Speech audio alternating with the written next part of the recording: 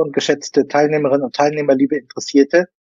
Ähm, heute in aller Knappheit ein sehr wichtiges Thema, was in der Vergangenheit sehr häufig, will ich mal sagen, ähm, manchmal ideologisch, manchmal idealistisch verwendet wurde, aber es ist ein wichtiges Thema, weil es mit ganz elementaren Akide-Elementen zu tun hat.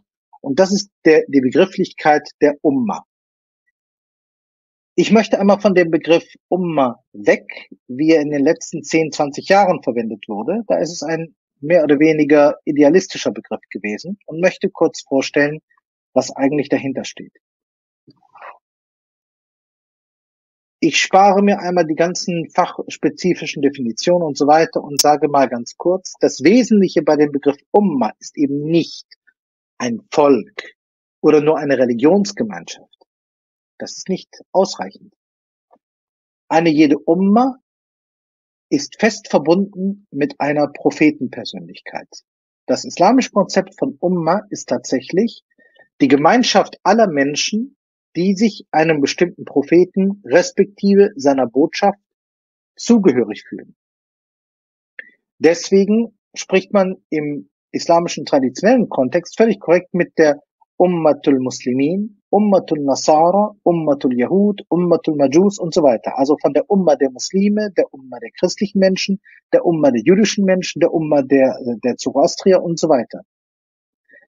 Und dieser Begriff ist nicht nur spezifiziert von Seiten des ehrenwerten Korans auf den Islam.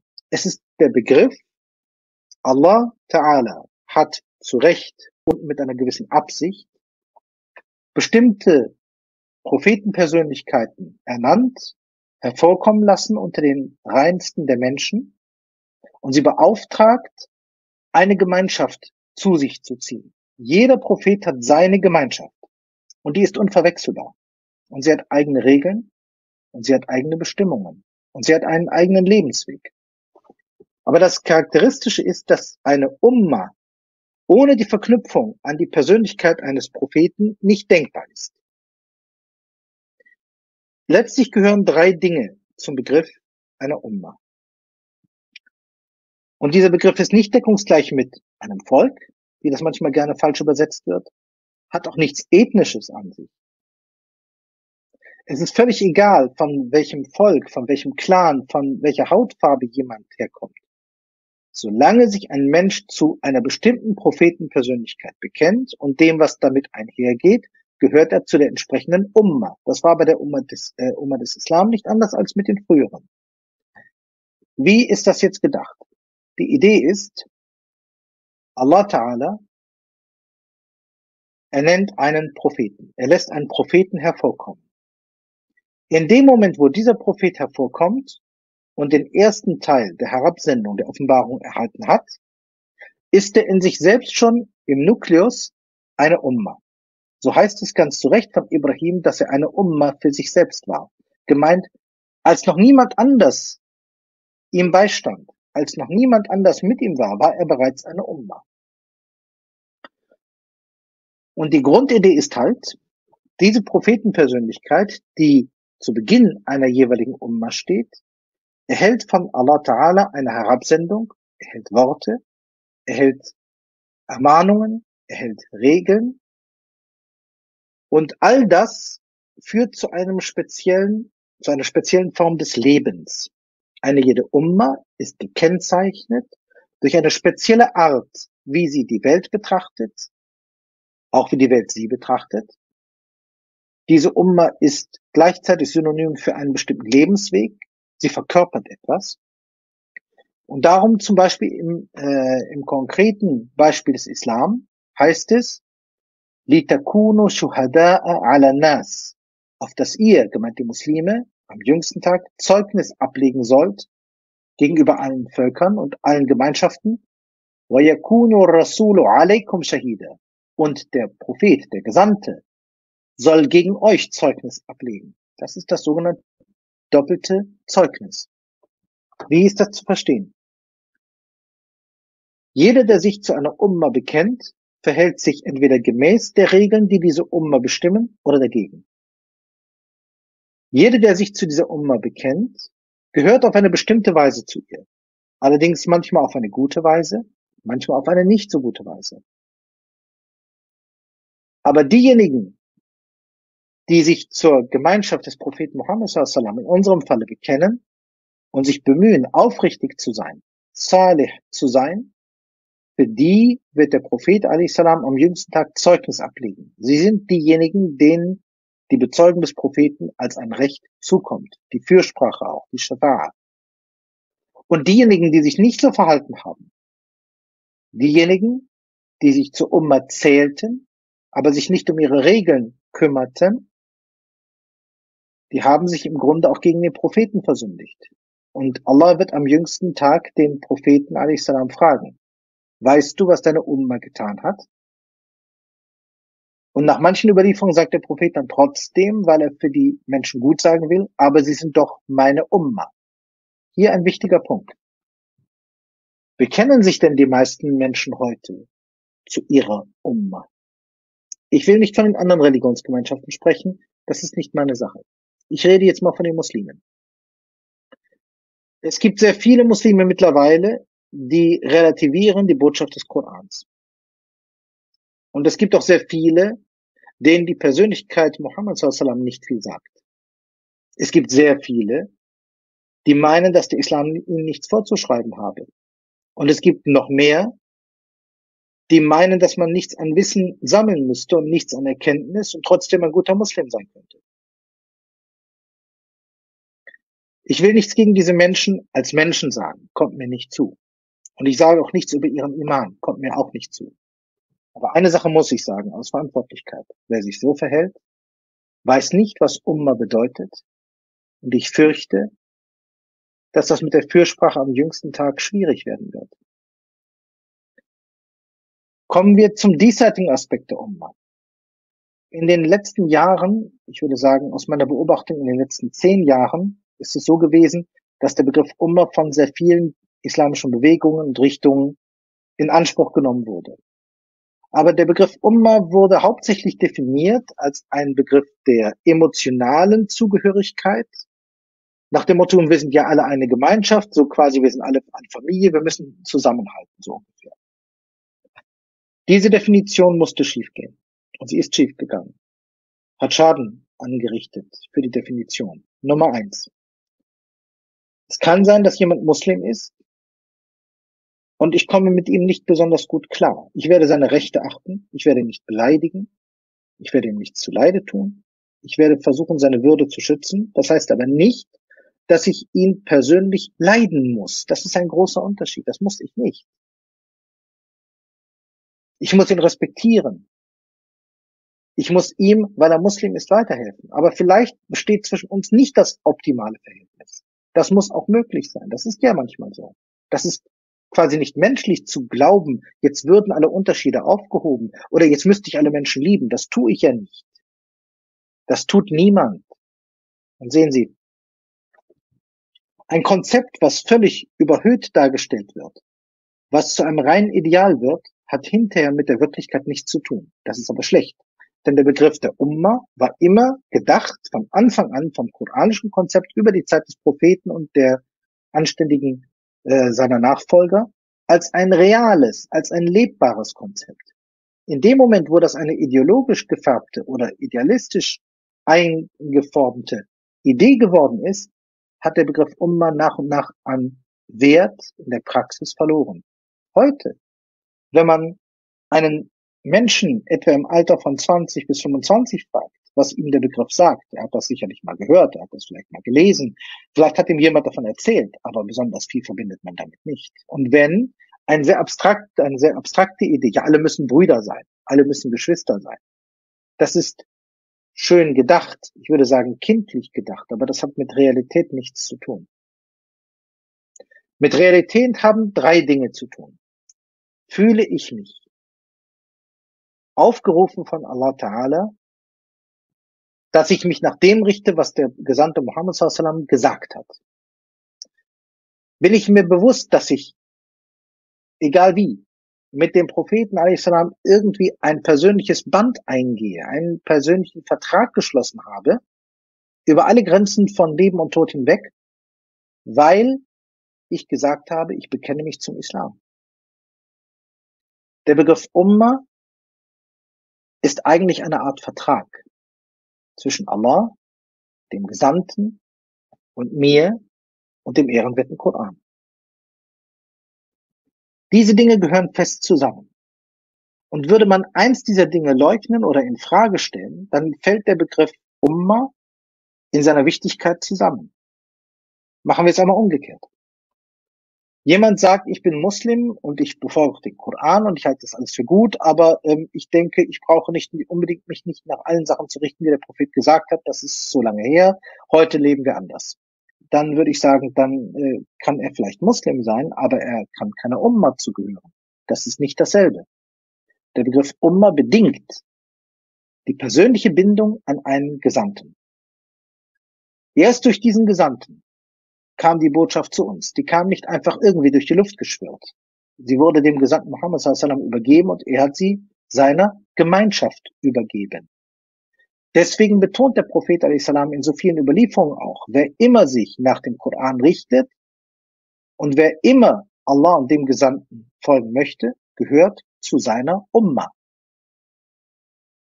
Dieser Begriff Umma ist tatsächlich also mit Al-Kitab, der verbindlichen Herabsendung Allahs, mit dem Rasul, mit dem Gesandten verknüpft, der diese Herabsendung überbrachte, mit Allah, der der Ursprung von allem ist und zu dem man ja eine Beziehung aufbauen möchte. Und der Begriff Umma ist nicht nur ein zugehörig sein oder ein zugehörig fühlen. Es ist also nicht das Emotionale einem, sondern es ist das Bewusstsein, einen besonderen Lebensweg zu gehen. Und deswegen kann man sehr schön fragen, der Koran äh, bestätigt das. Eine jede Umma hat Shir'atan wa minhaja. Eine besondere Art, wie sie Gebote und Regeln beachtet. Wa minhaja. Eine bestimmte Lebensart, eine bestimmte Art zu leben. Und das ist legitim so. Eine jede Umma unterscheidet sich von einer anderen Umma. Und der Koran beschreibt das so, genauso wie es eine Kette von Propheten und Gesandten über die Geschichte hinweg gegeben hat, gibt es notwendigerweise auch eine Kette der Ummam, der Mehrzahl von Umma. Viele Umma-Formen folgten aufeinander. So heißt es, Tilka Ummamun qad khalat min qablikum. Dies sind Gemeinschaften, also Umma-Gemeinschaften, die vor dir bereits dahin gingen. Manche Umma-Formen blieben erhalten, manche nicht. Manche blieben unverändert oder nur teilweise verändert. Manche haben sich grundsätzlich verändert. Bei manchen Umma-Formen ist es so, dass wir heute genau wissen, wie sie geformt waren oder sind und wie sie funktionieren. Und bei anderen wissen wir kaum mehr als den Namen, wenn überhaupt. Das spielt aber für uns persönlich jetzt nicht die Hauptrolle. Für uns ist entscheidend, wenn wir uns als Muslime betrachten, wenn wir sagen, wir werden durch ein Band genannt Umma zusammengehalten, dann ist der Begriff Umma nicht ein abstraktes Zugehörigsein, sondern es ist eine Art Bekenntnis. Ein Bekenntnis zu der Person des Propheten, ein Bekenntnis zu dem, was er gebracht hat und was Allah herabgesandt hat, zu der Bedeutung dessen, was herabgesandt wurde. Und es ist eine Art Selbstverpflichtung für einen bestimmten Lebensweg. Im Rahmen dieses Lebensweges gehört es sich nun auch, dass man danach strebt zu erkennen, was macht denn diese Umma aus? Wenn wir jetzt einmal den wunderbar kindlichen, verbrämten Begriff Umma und wir sind alle lieb miteinander beiseite lassen und jetzt fragen, was könnte der Begriff Umma denn sonst bedeuten? Oder vielleicht, wie hat man den Begriff denn bei den Gelehrten vor unserem Jahrhundert verstanden? Vor der neuzeitlichen Interpretation. Dann würde man als erstes darauf stoßen, dass der Mensch nach Erkenntnis streben soll. Erkenntnis, nicht zuletzt Erkenntnis, was Umma bedeutet. Warum Erkenntnis? Warum nicht Wissen? Und warum wird heute so irrsinnig oft nach Wissen gerufen? Ist Wissen alles? Das Wissen als solches, ohne Handlung, ohne Hintergrund, ohne Reflexion, ist zwar wichtig, bringt aber nichts. So heißt es traditionell, es gibt Menschen, die wissen nicht und handeln die gehen irre. Und es gibt Menschen, die wissen, aber handeln nicht. die sind feige oder untätig, faul. Und es gibt Leute, die haben Dinge zur Hälfte verstanden. Die haben vielleicht eine gute Absicht, aber sie richten mehr Schaden an als Nutzen. Und dann gibt es diejenigen, die haben eine Sache richtig verstanden, aber sind unfähig zu handeln aus irgendeinem Grund. Die bringen kaum was zustande. Da könnte man fragen, woran scheitert das? Ich glaube, es scheitert zuallererst daran, dass ein bloßes Wissen, was noch nicht zur Erkenntnis geworden ist, immer nur einen Teil abbildet. Und das gilt bei Umma ganz genauso.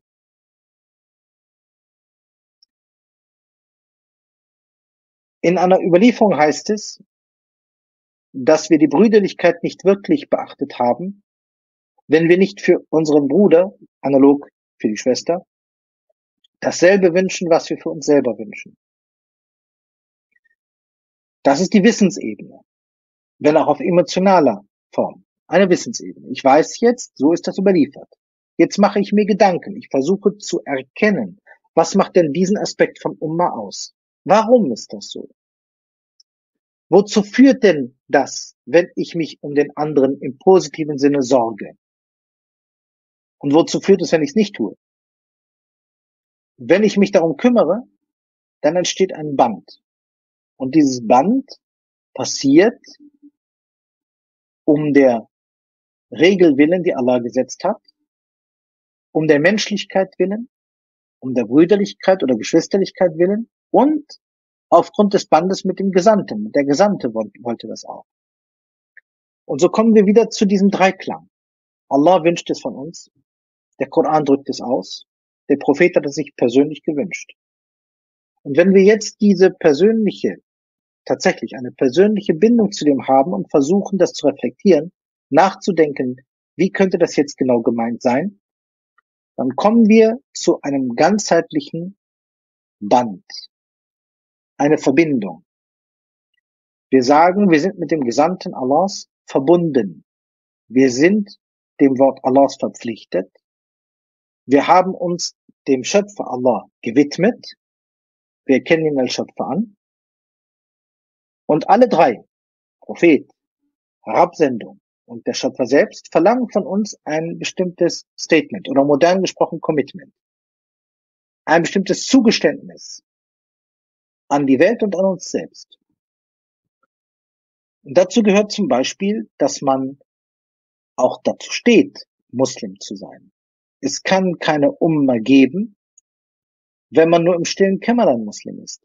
Jetzt sind wir bei ganz modernen Aspekten. Viele, viele Muslime schämen sich zu sagen, dass sie Muslime sind mittlerweile. Viele kümmern sich nicht darum, was das bedeutet, Islam. Noch weniger streben nach Erkenntnis in der Sache. Sie lernen viele Sachen, im besten Falle auswendig. Aber begreifen sie viel davon? Der Begriff Umma erwartet mehr als nur. Ich habe ein paar Ayat und ein paar Hadithe gelernt und ich sage bestimmte Dinge und ich finde manche Sachen toll, aber es geht nicht um einen Freizeitpark. Es geht um etwas anderes. Es geht um einen geschichtlichen Auftrag, dass man mit Anstand, in friedvoller Art und Weise, mit Verständnis für die Menschen ein Beispiel gibt. Und dieses Beispiel sollte nicht bei dem beginnen, der nicht zu dieser Gemeinschaft gehört, sondern zuallererst mal bei denen, die dazu gehören. Und dann geht's nach außen. Es ist ja nicht nachvollziehbar, dass ein anderer Muslim da ist und den missachte ich, nur damit ich einem Bekannten etwas erkläre. Und dieser Bekannte, ob er jetzt Interesse hat am Islam oder nicht, gehört noch nicht zu meiner Gemeinschaft. Die Prioritäten stimmen nicht immer. Dann sagen viele, ja, aber du musst die Leute zum Islam einladen. Sage ich, richtig, ist kein Problem. Aber die erste Pflicht ist nicht, Da'wah zu machen. Das ist ein christliches Konzept. Wir haben als Muslime nicht den Auftrag, Da'wah zu machen. Das ist nicht wahr.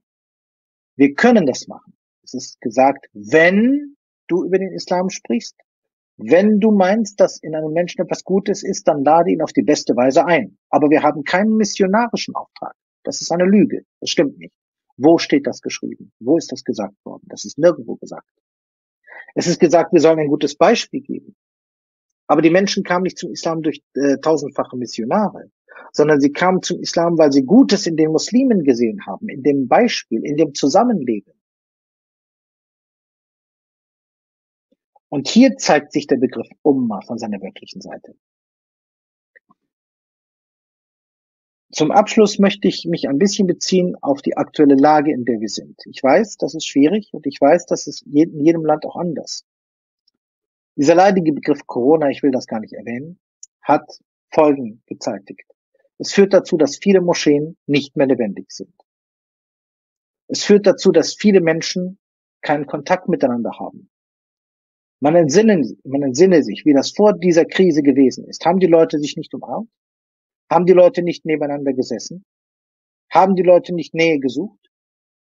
Haben die Leute nicht versucht, äh, gemeinsam näher zu kommen? Gemeinsam Interessen zu pflegen? Haben sich gefreut, wenn sie sich begegnet sind? Und jetzt?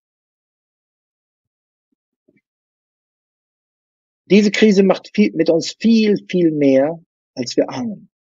Und das schädigt unter anderem den Umma-Begriff nachhaltig. Warum so? Es könnten ja Leute sagen, ja, ob du jetzt jemanden die Hand schüttelst oder ihn jetzt mit dem Ellenbogen berührst oder irgendwas, macht dir nicht viel aus. Ich sage doch, es macht etwas aus. Als erstes, die Ibadat, die gottesdienstlichen Handlungen des Islam, enthalten körperliche Aspekte. Und wenn gesagt ist, dass sich die Prophetengefährten im Gebet berührt haben, dann haben sie das aus einem guten Grund gemacht. Wenn überdies es so ist, dass ich anfange, mich aufgrund irgendwelcher Krankheitsfragen vor meinem Bruder, meiner Schwester zu fürchten, dann ist das nicht nur gesellschaftlich zerstörend, sondern es ist auch umma zerstörend. Jetzt könnte man sagen, na, man muss doch vorsichtig sein. Ich sage, das soll man mit Fingerspitzengefühl und mit Verstand machen. Aber man darf den Menschen nicht allein lassen. Und man soll sich auch nicht selbst in die Einsamkeit begeben. Das mag manchen Kreisen recht sein, aber das ist nicht, was Allah und sein Gesandter uns bestimmt haben. Ich möchte es zum Abschluss von einer anderen Seite einmal beleuchten. Ich glaube, dass der derzeitige Zustand eines großen Teils der muslimischen Menschen weltweit, egal in welcher schwierigen oder furchtbaren oder zurückgeworfenen Lage sie sind. Ein Ergebnis davon ist, dass die Menschen sich um den Begriff Umma nicht gekümmert haben. Nicht in Wirklichkeit. Und wenn Sie einmal wirklich in sich gehen und wenn Sie einmal schauen, auch die Länder mit der sogenannten muslimischen Mehrheitsbevölkerung, ich will es vorsichtig ausdrücken, egal wo, haben da die Menschen sich denn mehrheitlich zumindest versucht, sich nach diesen Regeln auszurichten? Oder waren das, wenn wir ehrlich sind, nicht traditionell ererbte Dinge? Gute natürlich, aber doch letztlich ererbte. Waren es wirklich Dinge, die man mit Bewusstsein aus einem innerlichen islamischen Verständnis gemacht hat? Oder waren das Sachen, die man einfach gemacht hat, weil sie Tradition waren? Allah sieht in die Herzen. Und Allah weiß ganz genau, warum wir etwas tun und warum wir etwas lassen. Ich bin fest überzeugt, dass die Lage die wir jetzt seit so vielen Jahren immer schlimmer werden sehen und die langsam aber sicher wirklich auf etliche Katastrophen zugesteuert ist, dass diese Lage nur passieren konnte, weil wir ganz grundsätzliche Dinge außer Acht gelassen haben. Und dazu zählt, dass wir uns in vielen Fällen gar nicht einmal bemüht haben, so etwas wie Umma lebendig werden zu lassen. Der Idee von Umma ist nicht gedient, wenn man das zu einer hübschen, netten Idee macht, sondern es ist damit gedient, dass man versucht, etwas Gesellschaftliches aufzubauen. Hier ist der meiste Schaden passiert. Wo immer Sie hinschauen, zu den sogenannten muslimischen Mehrheitsgebieten, da werden Sie finden, dass der gesellschaftliche Zerfall vor allen Dingen in den letzten zehn Jahren immens fortgeschritten ist. Mit dem Zerfall der Familie, mit dem Wegfall von vielen Aspekten von Großzügigkeit, gleichzeitig aber auch mit Verarmung und so weiter und so fort. Also wenn Sie das einmal genau betrachten, es sind viele Faktoren. Aber wenn Sie genau hinterschauen, dann merken Sie, dass in vielen, vielen Fällen, und das kann ich an etlichen Dingen selber äh, erkennen, Betrügerei dahinter steht. Dass man dem anderen etwas neidet. Nicht, dass man ihm was Gutes will. Dass man nicht mehr zusammenarbeiten kann. dass man am Ende sagt, jeder für sich. Das, was wir immer, jetzt meine Generation zum Beispiel, 66 geboren, was wir immer getadelt haben bei den westlichen Mehrheitsgesellschaften, ist jetzt im Osten endgültig angekommen. Das hat Folgen gehabt.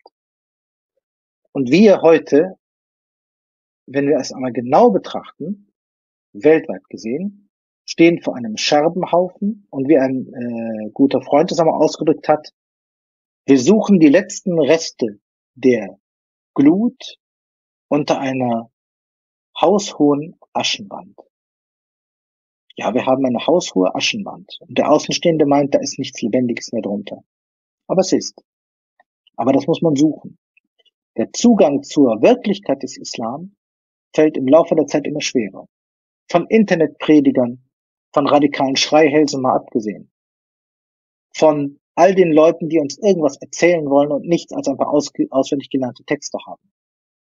Abgesehen von all den Leuten, die uns erzählen wollen, als nicht-muslimische Fachleute, was der Islam alles ist, bis hin zu den, sage ich mal, Nestbeschmutzern, die wir aus dem inneren Kreis haben.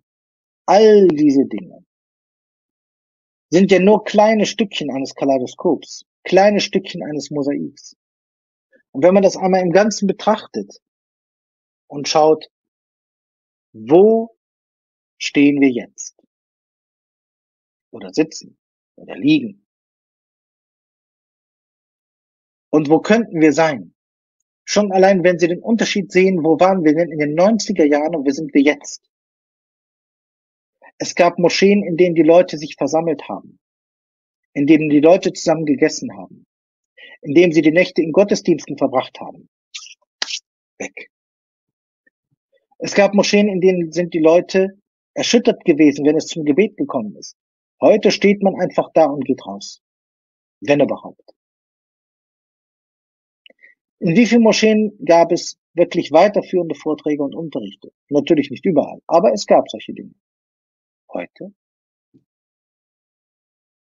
Ich glaube, es ist an der Zeit, dass man das ganz grundsätzlich bedenkt.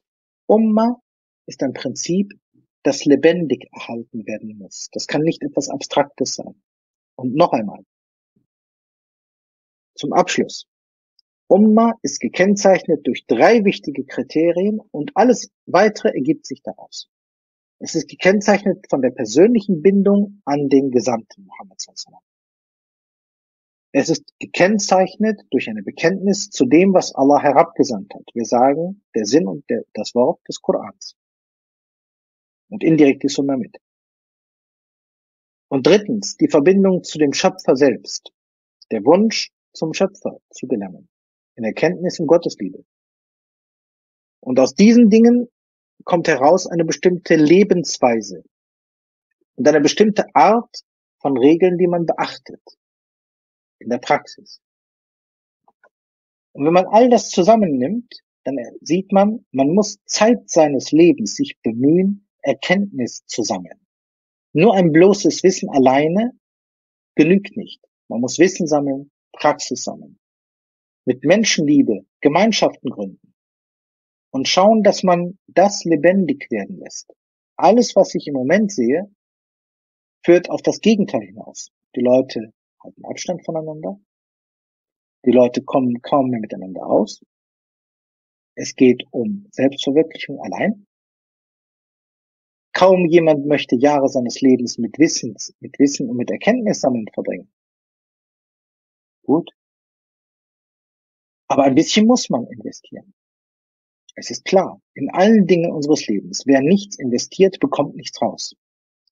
Wenn wir nicht investieren in diese Form von Gemeinschaftsleben, dann werden wir auch kein Gemeinschaftsleben herausbekommen. Das ist völlig klar. Soweit möchte ich das als ein kurzes Statement bringen. Und für mich wäre es eine gute Sache, wenn Sie einmal über dieses Konzept von Umma in diesem neuen Kontext einmal nachdenken würden und schauen, wie kann man so etwas auf eine friedliche, gute, feine, zielführende Art weiterbringen. Vielen, vielen Dank. Einen gesegneten Abend. Assalamu alaikum wa rahmatullahi wa barakatuh.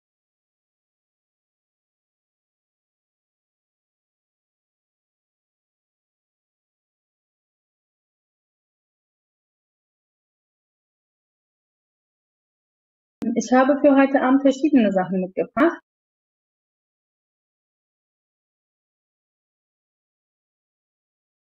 Eine Frage, die wahrscheinlich sehr viele von uns ähm, schon gehört haben, nämlich die Frage, woher wir kommen. Heute würde ich sie in einem anderen Kontext euch stellen.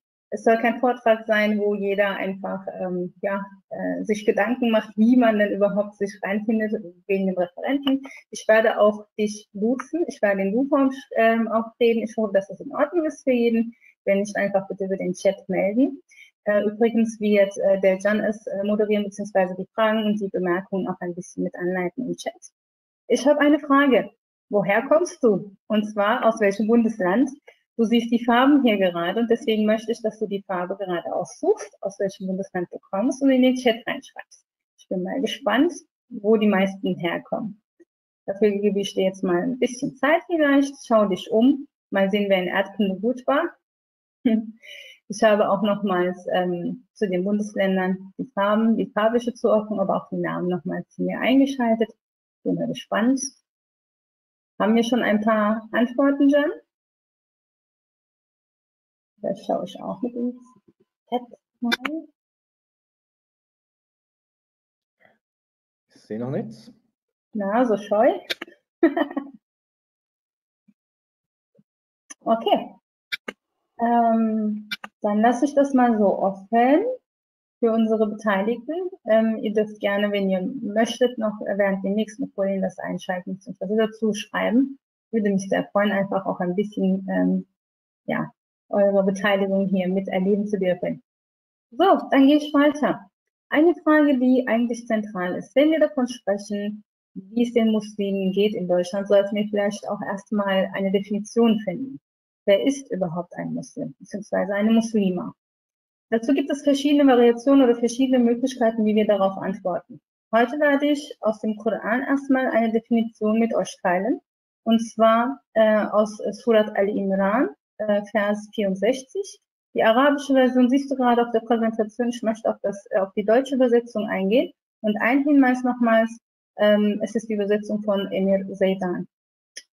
Ähm, hier beginne ich. Sag, ihr Schriftbesitzer, kommt zu einem Wort, das gleichermaßen für euch und uns gilt, dass wir nur Allah verherrlichen und ihm gegenüber keinerlei Polytheismus praktizieren und dass die einen von uns sich die anderen nicht als Herren anstelle von Allah nehmen. Sollten sie sich abwenden, so sagt, seid Zeugen, dass wir Muslime sind. Also etwas sehr Zentrales ist, dass Monotheismus hier angesprochen wird, aber mit den Akide-Inhalten seit des Islams. Das ist nur ein Beispiel von zahlreichen Versen, die im Koran äh, vertreten sind, äh, um die Bezeichnung eines Muslims vorzufinden. Ähm, die Frage aber hier im deutschen Kontext wird immer wieder gestellt, womit ich konfrontiert werde oder auch andere Islamologen beispielsweise oder Menschen, die in diesem Bereich tätig sind. Gibt es den deutschen Islam? also Menschen, Muslime, die die Religion Islam angenommen haben, ähm, äh, erhalten eben auch diese Frage gestellt, weil die gemeinsame Sprache die deutsche Sprache ist und einige Definitionen oder äh, Veränderungen beziehungsweise nicht Veränderungen, sondern Verständnisfragen äh, immer wieder auftauchen. Und da möchte ich eins unterstreichen. Ähm, aus dem islamwissenschaftlichen ähm, Kontext kann man das unterstreichen, dass der Islam nur ein Islam ist, beziehungsweise es nur einmal existiert. Und ähm, auch die Frage zum Beispiel vor äh, der Offenbarung, ähm, die Hinabsendung an den Propheten Mohammed, Friede und Segen sei auf ihn, ähm, ob es, was denn die anderen Propheten wären, die Propheten vor ihm. Und auch da ist die zentrale äh, Antwort von allen Gelehrten sozusagen, dass es nur einen Islam gibt dass es nur verschiedene, auch was, äh, verschiedene Auflagen gab für jeden Propheten einzeln. Die zentrale Aufgabestellung, beziehungsweise das, für was für uns nach der Hinabsendung, nach der Abschließung sozusagen der Prophetenreihe mit dem äh, Propheten Mohammed, Friede und Segen sei auf ihm, ähm, sind die Punkte, die wir jetzt gemeinsam durchgehen. Wenn ihr Fragen habt, beziehungsweise wenn ich zu schnell bin, Jan, gib mir bitte ein Zeichen. Ich versuche so ein bisschen, ähm, ja, auch mit Denkansätzen durchzulaufen, den Abend mit euch gemeinsam. Ähm, ihr dürft gerne natürlich, auch wenn es zu schnell ist, mir ein Zeichen geben. Was sehr zentral ist, ist Erkan al-Iman in der Aqida. Das sind jetzt zwei Fachbegriffe, die vielleicht den einen oder anderen irritieren könnten. Es geht darum, dass ähm, der Iman etwas ist, was verinnerlicht ist, verinnerlicht wurde von einem Muslim, also ein Mensch, der äh, der ganz nicht nur das Wort Glauben nutzt, sondern äh, volle Überzeugung ist, dass die Religion Islam, ähm, der Glaube und die volle Überzeugung, dass es einen Schöpfer gibt mit all seinen Attributen und der Prophetenschaft des Muhammad, äh, von Muhammad, Friede und Segen sei auf ihn, die zentrale Aussage ist. Und ähm, zu Aqidah gibt es auch natürlich verschiedene, da könnte man jetzt auch sehr lange darüber sich unterhalten, aber es ist wichtig, dass man sich mit der Aqidah insbesondere als Muslim sehr nah beschäftigt, weil ähm, egal ob man ähm, in eine muslimische Familie hineingeboren wurde oder ob man zurück zu Islam im Nachgang gefunden hat, es ist ähm, die wichtigste, äh, das wichtigste äh, Element sozusagen, worauf wir zurückgreifen, ähm, wonach wir unsere Dunya, also diesseits und jenseits gestalten. Die fünf Säulen von Islam werde ich hier nicht nochmals wiederholen. Ich glaube, dass es für viele schon gängig ist. Aber ähm, auf welchen Säulen es basiert und wieso es so wichtig ist, ähm, ist nochmals ein Thema, was ich jetzt nicht nochmals äh, groß ausführen werde. Wenn da diesbezüglich noch Fragen sind, sehr gerne aufheben. Im Anschluss können wir darüber sprechen. Jetzt geht es aber auch darum, ich habe eben betont, es gibt nur ein, einen Islam. Aber die Diversitäten, wie sie zum Beispiel in Nordafrika ausgelebt wird oder in Europa, sie sind ja Existenz, sie sind da. Die Frage ist aber hier nicht, ähm, ob es dann verschiedene Islame gibt sozusagen, sondern vielmehr, in welcher Form, wie es verstanden wird, welche Quellen genutzt worden sind oder herangezogen worden sind und dass die, ähm, dass der Anspruch von Islam universell zu sein, das heißt für alle Zeiten und äh, für die, alle Bevölkerungsgruppen, also für die gesamte, äh, für das gesamte Geschöpf sozusagen, für, für die Menschheit zu sein, bedingt auch gleichzeitig, dass es dynamisch ist. Jemand, der in der Wüste ist, wird andere Bedürfnisse haben, aber wird sie trotzdem von Islam gestillt bekommen, wie zum Beispiel jemand, der an der Antarktis ist und genauso die Gebetszeiten wahrnehmen möchte, wie jemand ähm, woanders in Europa. Deswegen ist diese Diversität, wie wir sie ausleben, was auch manchmal mit der Kultur vermischt wird. Und Kultur ist etwas sehr ähm, menschliches, dynamisches und sind gesellschaftliche Normen teilweise, die nicht vor den islamischen Werten natürlich vortreten dürfen, aber dennoch eine Form der Ausübung sind. Ähm, von daher sind es Eigenschaften beziehungsweise Prozesse, ein Teil hiervon, wie es sich entwickeln kann und weswegen man hierfür auch Verständnis, aber auch gleichzeitig ähm, ja, Freude an dieser Vielfalt empfinden sollte. In Bezug auf den Propheten Frieden und Segen sei auf ihn möchte ich das ähm, äh, möchte ich ein Beispiel bringen, wie er mit 20 Jahren in Hilfe Fudul zum Beispiel aktiv wurde. Eine Gemeinschaft, die nur von bestimmten Menschen, ähm, von sehr reifen, erfahrenen Menschen, Menschen bzw. Männern geführt worden ist und er in dieser Hilfsorganisation sozusagen mitwirkte. Etwas, was mich sehr lange beschäftigt hat und worauf ich sehr gerne zurückgreife, ist ein Zitat, das ich jetzt mit euch teilen mag. Nämlich ein Zitat die folgendermaßen lautet. Islam ist wie Wasser. Die Kultur ist wie ein farbiger Behälter. Wenn wir an dem Punkt gelangen, dann werden wir Islam viel besser verstehen können, aber auch den Vielfalt äh, verstehen und annehmen können. Muslime ähm, sind sehr unterschiedlich, haben verschiedene Ansichten, haben verschiedene Auslegungsarten, aber es ist absolut, ähm, solange es nach den islamischen Grundwerten geht, legitim und ähm, es ist Vielfalt, es ist bunt, es ist schön. Ähm, was ich immer wieder sage, ist, dass die Welt auch bunt erschaffen wurde, mit ganz vielen Farben, die wir äh, als Geschöpf wahrnehmen dürfen. Und ähm, ich finde, dass es etwas Besonderes ist. Ich habe leider ähm, nicht direkt herausfinden können, zu wem dieses Zitat gehört. Es war, glaube ich, ähm, einer von den islamischen Gelehrten, Numan Ali-Khan könnte es sein. Aber ich hoffe, dass man mir das hier nachsehen kann. Ich habe zwar recherchiert, aber leider nicht mehr gefunden. Das war ein Notiz in meinem, äh, in meinem Notizbuch von den Vorträgen, die ich selbst wahrnehmen durfte. Jetzt komme ich zu der Hinabsendung. Es ist zu einer Zeit und zu einem Ort äh, passiert, äh, wo ganz viele Sachen, menschliche Dinge auch vorhanden waren. Streitigkeiten, ähm, Unrecht, Unheil teilweise sogar, unter den Menschen, dass es ähm, äh, klassifiziert wurde, dass der Mensch je nach Ab äh, Abstammung beziehungsweise nach materiellen Dingen und so weiter. Und ähm, die Frage, warum der Islam überhaupt direkt dort vor Ort den Propheten Muhammad Frieden sei auf ihn hinabgesandt wurde, warum äh, in Saudi-Arabien und nicht woanders, beschäftigt vielleicht den einen oder anderen auch.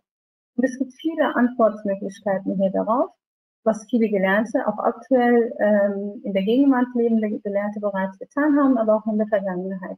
Ich möchte nur auf eins eingehen. Diese Hinabsendung, die uni äh, universell ist, die für alle Zeiten, für alle Menschen ist. Ähm, egal wo sie gestartet hat, es hatte sicherlich einen Grund oder mehrere Gründe. Aber was es heute für uns in Europa bedeutet, genauso für einen Muslim oder einen Nicht-Muslim, ist es ja nicht nur für Muslime, beziehungsweise für die ganze Menschheit hinabgesandt worden. Die Überzeugung, die eigene Entscheidung ähm, hiervon ähm, hängt vom Menschen ab. Die Frage, was es mit mir macht was ich daraus verstehe, wie ich ähm, danach mich orientiere oder nicht, ist meine Frage, hat mit mir was zu tun. Oftmals wird auch die Religion, also der Islam, ähm, als ein Religionsbündel dargestellt oder so verstanden. Ich möchte da nochmals ähm, auf bestimmt äh, auf das Verständnis nochmals auch aus dem Koran hinweisen. Die Religion, also unser Dien, ist gleichzeitig unser Lifestyle. Was bedeutet das? Es begleitet mich nicht nur auf meinem Gebetsteppich. Es begleitet mich nicht nur auf den Reisen wie Umrah oder ähm, Hajj, also die Pilgerreisen, die kleinen und die große. Oder es begleitet mich nicht nur zur Fastenzeit in Ramadan. Es begleitet mich auf der Arbeit. Es begleitet mich zu Hause, wie ich äh, mit meinen Familienmitgliedern umgehe, wie ich mit meinem Nachbar umgehe. Ob ich beim Fahren vorsichtig bin oder ähm, anderen eben auch äh, die Möglichkeit biete und versuche safe, sicher zu fahren oder nicht. Es hat viel mit mir und mit meinem Verständnis zu tun, weil meine Motivation aus meinem Dien heraus. Das ist eine ideale Vorstellung, woran jeder arbeiten muss, aber genau das ist. Jetzt geht es aber darum, wenn mein Dien ähm, sozusagen meinen Alltag auch gestaltet, beziehungsweise mitgestalten sollte, Basic ist sozusagen für das, wie ich handle, wie ich denke. Da muss ich mir ja auch die Frage stellen, was gehört überhaupt noch zu mir? Was ist wichtig an mir? Oder habe ich mich selbst schon ähm, erfassen können? Habe ich mir Gedanken gemacht zu mir selbst? Und ähm, es sind viele Möglichkeiten, wie man sich selbst bezeichnet oder worauf man zurückgreift. Aber die äh, vielen Sprachen, die man spricht beispielsweise, ist ein Hinweis dafür, dass es, dass man selbst vielfältig ist. Ähm, dann mit Vielfalt ist hier zum Beispiel die verschiedenen Kulturen gemeint, die man durch diese Sprachen beispielsweise bedienen kann. Und ähm, dass das Ressourcen sind, dass das Handlungsalternativen bieten und ähm, verschiedene Möglichkeiten uns nochmals ähm, anbieten, das ist etwas, was viele gar nicht so bewusst wahrnehmen. Ähm, es ist oftmals selbstverständlich, dass man mindestens zwei Sprachen spricht, dass man, ähm, ja, wenn man in das Land der Eltern sozusagen äh, in den Urlaub fährt, dass man genauso gut mit den anderen kommunizieren kann, mit den Verwandten oder Bekannten dort, wie hier in Deutschland mit irgendjemandem im Zug. Aber nein, es ist nicht selbstverständlich. Es ist ein Plus, ein Bonus, ähm, worauf man einfach sich, ähm, worauf man auch zurückgreifen kann, worüber man sich freuen darf. Die Frage, wer bist du, ist hier essentiell. Je mehr der Mensch sich selbst kennenlernt, je mehr der Mensch sich Gedanken über sich, über seine eigene Persönlichkeit macht, desto mehr hat er die Möglichkeit, sich zu entfalten. Desto mehr kann er sein, sein äh, Schöpfer, aber auch die anderen Geschöpfe kennenlernen. Das bietet einfach ganz viel Entfaltungsmöglichkeit. Jetzt hat jeder von uns verschiedene Rollen im Alltag. Der eine ist Student, die andere ist Hausfrau, auch eine harte Arbeit übrigens. Oder es gibt Mamis unter uns vielleicht, es gibt vielleicht ähm, Arbeitnehmer unter uns, Büromenschen, wie auch dem sei. Jeder von uns ist gleichzeitig Tochter, Sohn, äh, Vater, Mutter vielleicht oder oder. Diese verschiedenen Rollen haben viel mit unserer Identität zu tun. Aber die Frage, aus welchem Kontext heraus der Koran sagt, was unsere Identität ist und was zu uns gehört, möchte ich mit der Hinabsendung gleich mit euch, mit der Priorität, die es gesetzt hat, äh, mit euch teilen. Ich werde nämlich ähm, auf unser Bekenntnis erstmal mich beziehen. Die erste Säule des Islams ist die Selbstbetreuung gleichzeitig. Weil die Zeugenschaft und unser Bekenntnis besagt, dass man bewusst und wissend eine Entscheidung der Zeugenschaft abgelegt hat. Ich als Mensch, hier habe ich aus Surat al-Baqarah, ähm, Vers 2, äh, Ayah 2, ähm, hier herangezogen. Ich, es ist eine etwas längere Ayah, ich werde jetzt darauf nur Bezug nehmen. Wer möchte, kann das gerne auch sich nochmals im Nachgang durchlesen. Ich wiederhole Surat al-Baqarah, in Vers, in, in Vers 2.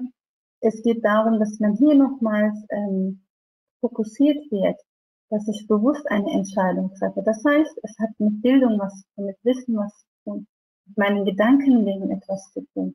Und wenn ich mich damit befasse und auseinandergesetzt habe, dann kann ich die Gewissheit haben, dann kann ich mich bewusst entschieden haben, das zu sein, was ich wirklich sein möchte. Deswegen ist es sehr wichtig, dass man auch die Definition hier nochmals ähm, auseinander nimmt und nochmals genauer drauf schaut. Was bedeutet, äh, bedeutet es, ein Mu'min zu sein? Oder Kafir beispielsweise. Und oftmals werden ja diese äh, Bezeichnungen, insbesondere Kafir, in einem ähm, falschen Kontext benutzt, beziehungsweise die Definition ist nicht äh, der Sache gerecht.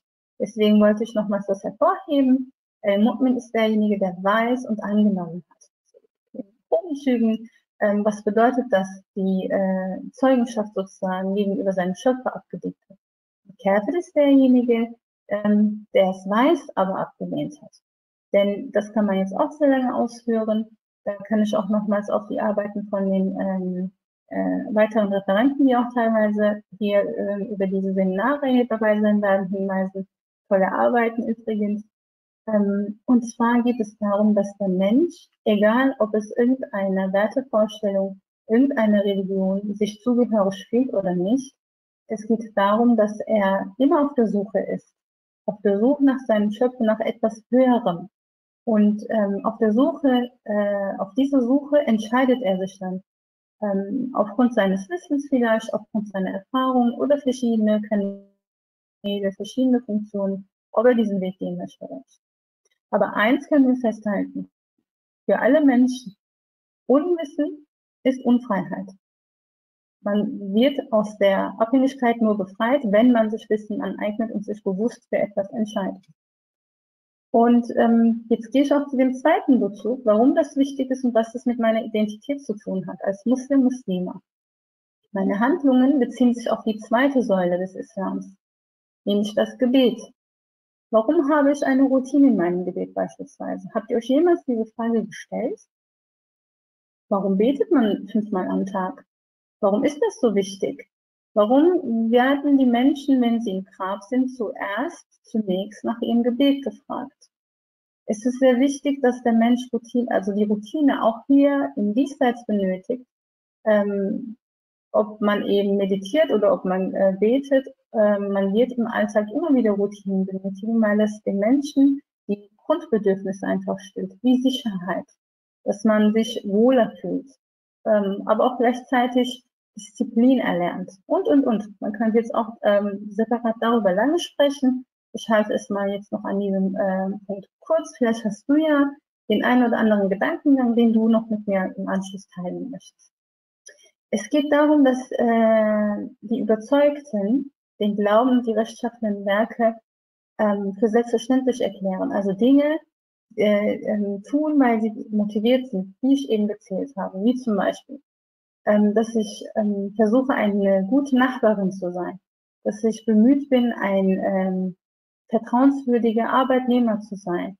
Und, und, und.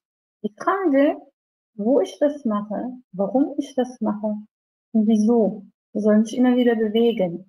Wenn ich mit einem Freund mich äh, treffe, zum Kaffee trinken beispielsweise, weil ich weiß, er hat eine Sorge und möchte was aus, seinem, aus seiner Seele sprechen. Da ist die Frage, ist meine Motivation, diesem Freund zu gefallen oder ähm, das Gefühl zu bekommen, oh, er braucht mich, diese Bestätigung, oder geht es darum, dass es um, mein, um den Willen des Schöpfers geht, ähm, zu sagen, hey, ich versuche um seinetwillen einem Menschen zuzuhören und ihm zu helfen. Und wo das alles passieren kann, ob ich dafür nach Mekka reisen muss oder ob ich das hier vor Ort in dem Land oder in der Stadt, wo ich bin, machen kann, die Frage lasse ich mal offen, die kann jeder für sich gleich beantworten. Ich möchte auch an dieser Stelle vielleicht Bezug nehmen auf meine eigene Biografie. Ihr seht hier zwei Bilder. Das eine ist die Nibelungenbrücke in Worms, märchenhaft. Ich mag sie sehr. Und auf der anderen Seite könnt ihr einen Hund sehen. Äh, wer sich mit Hunderassen auskennt, wird es sofort wiedererkennen können. Es ist ein Kanga. Ich komme ursprünglich aus Sivas aus der Türkei. Und ähm, ich hatte eine Lebensphase, ähm, wo ich mir sehr extrem die Frage gestellt habe, wo möchte ich denn leben? Wo kann ich besser Muslim sein? Und ich hatte die Entscheidung getroffen, die Koffer gepackt so ziemlich und wollte in die Türkei umziehen, damit ich dort arbeiten kann und auch zusätzlich Selbstständigkeit anstreben kann. Ähm, ich habe schon ein Jobangebot bekommen. Es war alles kurz davor, äh, realisierbar zu sein sozusagen. Ich hätte nur noch innerhalb von zwei Monaten umziehen sollen. Zwar nicht nach Kangal, aber ja, nach Istanbul. Das war unser Ziel oder mein Ziel damals. Und ähm, es sind einige Dinge passiert in dem Moment, also zu dieser Phase, bevor ich äh, wirklich mein Ticket buchen konnte und dann abgereist wäre. Ich habe mir oft die Frage gestellt, wer bin ich? Was mache ich hier? Warum in Deutschland eigentlich? Warum bin ich hier auf die Welt gekommen und nicht irgendwo anders auf dieser Welt? Und es sind Dinge passiert, die viel mit mir natürlich zu tun haben und ich die Erkenntnis hatte, ja, um Muslim, um eine bessere Muslima zu sein, muss ich nicht ausreisen, ich muss mich mehr bemühen. Und meine Funktion, meine Aufgabe ist vielleicht, meine Bestimmung ist vielleicht hier zu sein und hier zu wirken, indem ich versuche, eine, ein besserer Mensch zu werden und andere auch ähm, mir ansehe, an ihnen viel lernen kann, diese Motivation habe und aber auch gleichzeitig versuche, bestmöglich ähm, es ihnen zu zeigen, was es bedeutet. Und dann habe ich mich entschieden, hier zu bleiben. Ähm, dennoch heißt es nicht, juhu, alles blendend, wir haben überhaupt keine Probleme und alles ist Friede, Freude, Eierkuchen. Leider noch nicht. Ähm, denn es gibt auch Probleme. Ich nenne sie sehr gerne Herausforderungen. Ähm, und die ersten, die euch wahrscheinlich einfallen, ist Alltagsrassismus und Diskriminierung, Mobbing auf der Arbeit und, und, und. Das sind Dinge, die existieren. Aber die Frage ist, welche Rolle übernehme ich? Was sagt meine Identität dazu? Die Erfahrungen, die ihr genauso wahrscheinlich gemacht habt, der eine oder andere zumindest wie ich, ist, dass man immer wieder ähm, differenziert an die Sache rangeht, äh, rangeht, wenn es darum geht, ähm, wie man wahrgenommen wird von seinem Chef, vom Lehrer und und und. Dadurch, dass ich im Bildungsbereich bin, wie ihr schon gehört habt, ähm, habe ich immer wieder den Schulkontext natürlich im Hinterkopf, aber ich hoffe, dass jeder sich da wiedererkennen kann. Die Äußerlichkeiten, dass man darauf angesprochen wird. Ähm, als muslimische Frau eben mit Hijab oder ohne Hijab, ähm, aber auch eben die Männer, die angesprochen werden. Ich glaube, ihr habt das eben wahrgenommen wegen meinem Abgestand. Ich schließe es gerade an, parallel. Ähm, dann geht es aber auch um die Sprache. Wenn man zum Beispiel ähm, verschiedene Sprachen spricht, aber mit Dialekt spricht, ist das leider oft noch ein Problem, beziehungsweise man wird oft dahingehend angesprochen, ähm, dass es da auch Unterschiede gibt. Und da teile ich mit euch jetzt eine Studie, ähm, die kommt an den Anschluss. Es geht aber darum, dass es zu deiner Identität gehört. Und es ist nicht selbstverständlich, beziehungsweise nicht für jeden so einfach zu sagen, okay, das ist ein Teil von mir, dass ich gewisse Dinge kann oder nicht kann. Und verzeiht mir bitte, ich mache gerade meinen Stecker rein. So. Bin wieder da. Ähm, die Frage ist, mit den ganz vielen Bausteinen, mit den bunten Teilen von mir, die zu mir gehören, wie ich damit umgehe. Sehe ich mich wirklich so, dass ich über viele Dinge verfüge? Oder ist es eher ähm, die Frage, wie wollen mich die anderen sehen, wie muss ich denn aussehen, damit sie mich annehmen? Und da kommt eine essentielle äh, Frage ähm, nochmals zutage. Deine Entscheidung wird auch deinen Weg bestimmen. Was passiert mit deinem Selbstbewusstsein, wenn du ständig diese Probleme im Hinterkopf hast beispielsweise? Oder die Selbstfindungsphase. Es passiert nicht nur während der Pubertät. Es gibt ähm, verschiedene Phasen im Leben, die der Mensch wahrnimmt und immer wieder mit sich und über sein, äh, seine Umwelt und über essentielle Fragen auch sich Fragen stellen wird und sich damit befassen wird. Es geht um die Selbstwertschätzung, dass es nicht in Abhängigkeit von anderen sein darf, nicht von der Gesellschaft.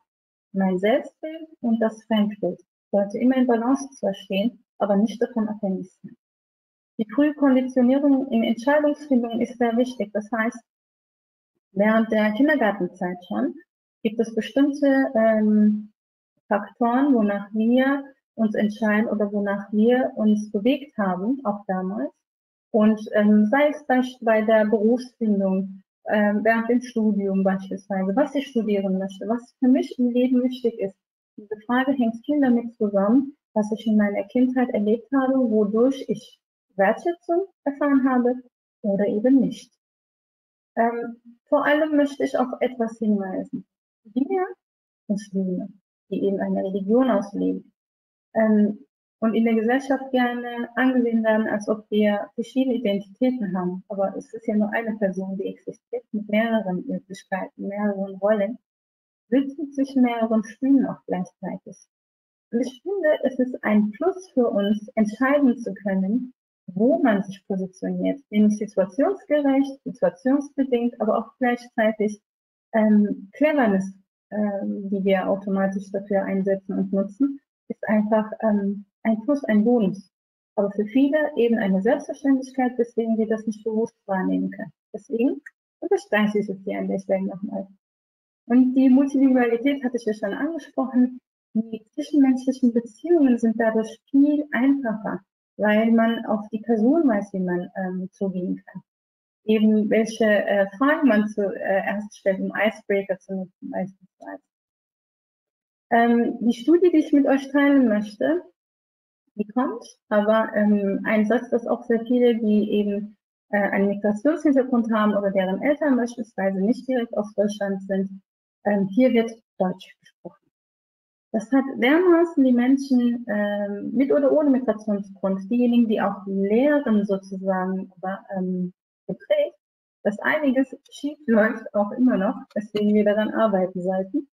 Ähm, denn dadurch, dass man eine Sprache nicht spricht, fehlt das Verständnis auch für die Realität der Menschen, die es eben tun. Und gleichzeitig aber auch eine Wertung passiert. Ich gebe euch ein Beispiel von der Studie, äh, von der ich gesprochen habe. Wenn jemand mit einem gebrochenen ähm, Akzent, also mit, mit einem amerikanischen Akzent Deutsch spricht beispielsweise, ähm, wird das immer äh, ja, applaudiert. Wow, du kannst Englisch, das ist ja richtig cool. Dann bist du überall auf der Welt, ähm, kannst du dich orientieren und dich mitteilen. Während jemand, der mit arabischem Akzent vielleicht Deutsch spricht, ähm, ganz anders gewertet wird. Und das hat diese Studie herausgefunden, was ich sehr spannend fand, dass auch die Wissenschaft das nochmals aus unserer Lebensrealität heraus zusätzlich ähm, ja, bestätigt hat sozusagen. Die Unterscheidung nach Migrationshintergrund ist eben nicht nur etwas, was man nur hört, sondern auch gleichzeitig sieht. Deswegen ist das sei es im Bildungssystem oder in anderen Systemen immer wieder relevant und ähm, zeigt sich auch in jungen Jahren, wie zum Beispiel während der Bewerbungsphase. Vielleicht hat das der eine oder andere zum ersten Mal in seinem Leben mit ähm, 18 erlebt, der andere schon als Erwachsener. Aber es ist Fakt, auch wiederum eine Studie, ähm, die vielleicht für den einen oder anderen schon äh, bekannt sein sollte, bei der gleichen Leistung, aber nur mit Hijab ähm, dass eine Frau sich viermal mehr bewerben muss mit der gleichen Bewerbung, nur weil das Bewerbungsfoto ein Hijab hatte, also die Frau einen Hijab trug sozusagen, musste man viermal mehr äh, sich bewerben. Es hat geschmerzt, als ich das zum ersten Mal gehört habe und deswegen ist es mir wichtig, dass ich das mit euch auch teile. Die Diskriminierungserfahrungen aus ähm, ethnischen Gründen sind auch nicht gering zu schätzen. Das sind übrigens auch ähm, ja, Skala bzw die Inhalte, die man auch über die politische Bildungsseiten ähm, sich heranziehen kann, die würde ich schnell überfliegen wollen. Ich wollte es euch nur mit, mit euch mal kurz geteilt und gezeigt haben. Es geht mir darum, wenn man sich selbst kennt, kennt man auch automatisch seinen Schöpfer, besser hatte ich gesagt. Man muss viel reflektieren oder man darf viel reflektieren, ähm, um den Weg auch in diesen Prozess reinkommen zu können. Deswegen ich denke Anstöße euch mitgeben zwischen Kompetenzen und sich beweisen müssen, ähm, steht der Mensch immer wieder und fühlt sich dabei eingeengt. Weil eigentlich kann man ja mehr. Man weiß, dass man mehr kann. Aber irgendwann verlernt man das, beziehungsweise unterdrückt das dermaßen, dass man sich dem anpasst, was äh, von einem noch erwartet wird. Das heißt zum Beispiel die schlechte Bewertung, die schlechtere Bewertung bei gleicher Leistung ist für viele etwas, womit sie gar nicht umgehen können. Dazu gab es jetzt aktuell auch eine Situation von einer Studentin, sie hat eine Bewertung für ihre Hausarbeit bekommen ähm, mit einem Nebensatz, äh, die Rechtschreibfehler wurden nicht berücksichtigt, da die äh, Studentin nicht deutschsprachig ist. Und diese Studentin ähm, hat sich dermaßen aufgeregt, hat auch über Social Media geteilt, beziehungsweise ihre Dozentin zurückgeschrieben. Geben Sie mir die schlechtere Note, aber ich bin deutschsprachig. Fand ich auch sehr interessant. Kampf um die Anerkennung bei gleicher Kompetenz, wie ich schon eben erwähnt, auf der Arbeit wird man das erleben, im Schulsystem wird man das erleben, sich beweisen müssen, auch in den Institutionen oder im heimischen Umfeld, auch zu Hause beispielsweise, haben die Menschen, die Eltern, die Familienangehörigen ja eine Erwartungshaltung, genauso wie die außerhalb. Und ähm, dadurch können auch viele Missverständnisse eigentlich entstehen, weil man einfach schon auch ein bisschen äh, voreingenommen in Sachen eingeht. Wie zum Beispiel, dass man ähm, sich immer wieder ein, also es ist zwar Fakt, aber immer wieder betont und hervorhebt, dass man schlechtere Berufschancen hat, dass man benachteiligt wird oder Diskriminierung erfährt. Ähm, es sind zwar Fakten, aber es hat viel damit zu tun, wie wir Sachen sehen. Dass strukturelle Diskriminierung auch in Deutschland herrscht, ähm, ist Fakt. Da wird einiges auch getan. Die letzten Jahre insbesondere sind sehr viele Menschen, sehr viele Akteure, die, sich äh, bereit erklärt haben und diese schwere Aufgabe äh, sich angeeignet haben. Deswegen sind viele Institutionen und Vereine entstanden, die auch auf die Unterstützung natürlich ähm, ja, angewiesen sind. Deswegen ich jeden nochmals darauf hinweisen möchte, lokale oder eben äh, größere äh, Institutionen, Vereine immer wieder aufsuchen und sich erkundigen. Die Meldungen sind sehr wichtig, weil wenn ich davon nicht berichte, dass ich Diskriminierung erfahren habe, dann werde ich ähm, auf der politischen Ebene beispielsweise auch nicht die Möglichkeit haben, ähm, aufgrund der Zahlen Dinge zu bewegen. Und das unterschätzen viele Menschen. Ähm, die schwarzen Zahlen, die dunklen Zahlen sind meistens viel höher als die, äh, die, die offiziellen Stellen mit uns teilen können. Und ähm, oftmals geht es auch darum, dass ähm, eigentlich auch hier an dieser Stelle bei der strukturellen Diskriminierung es sehr wichtig ist. Du musst sprechen, nicht eine Sprachrohre.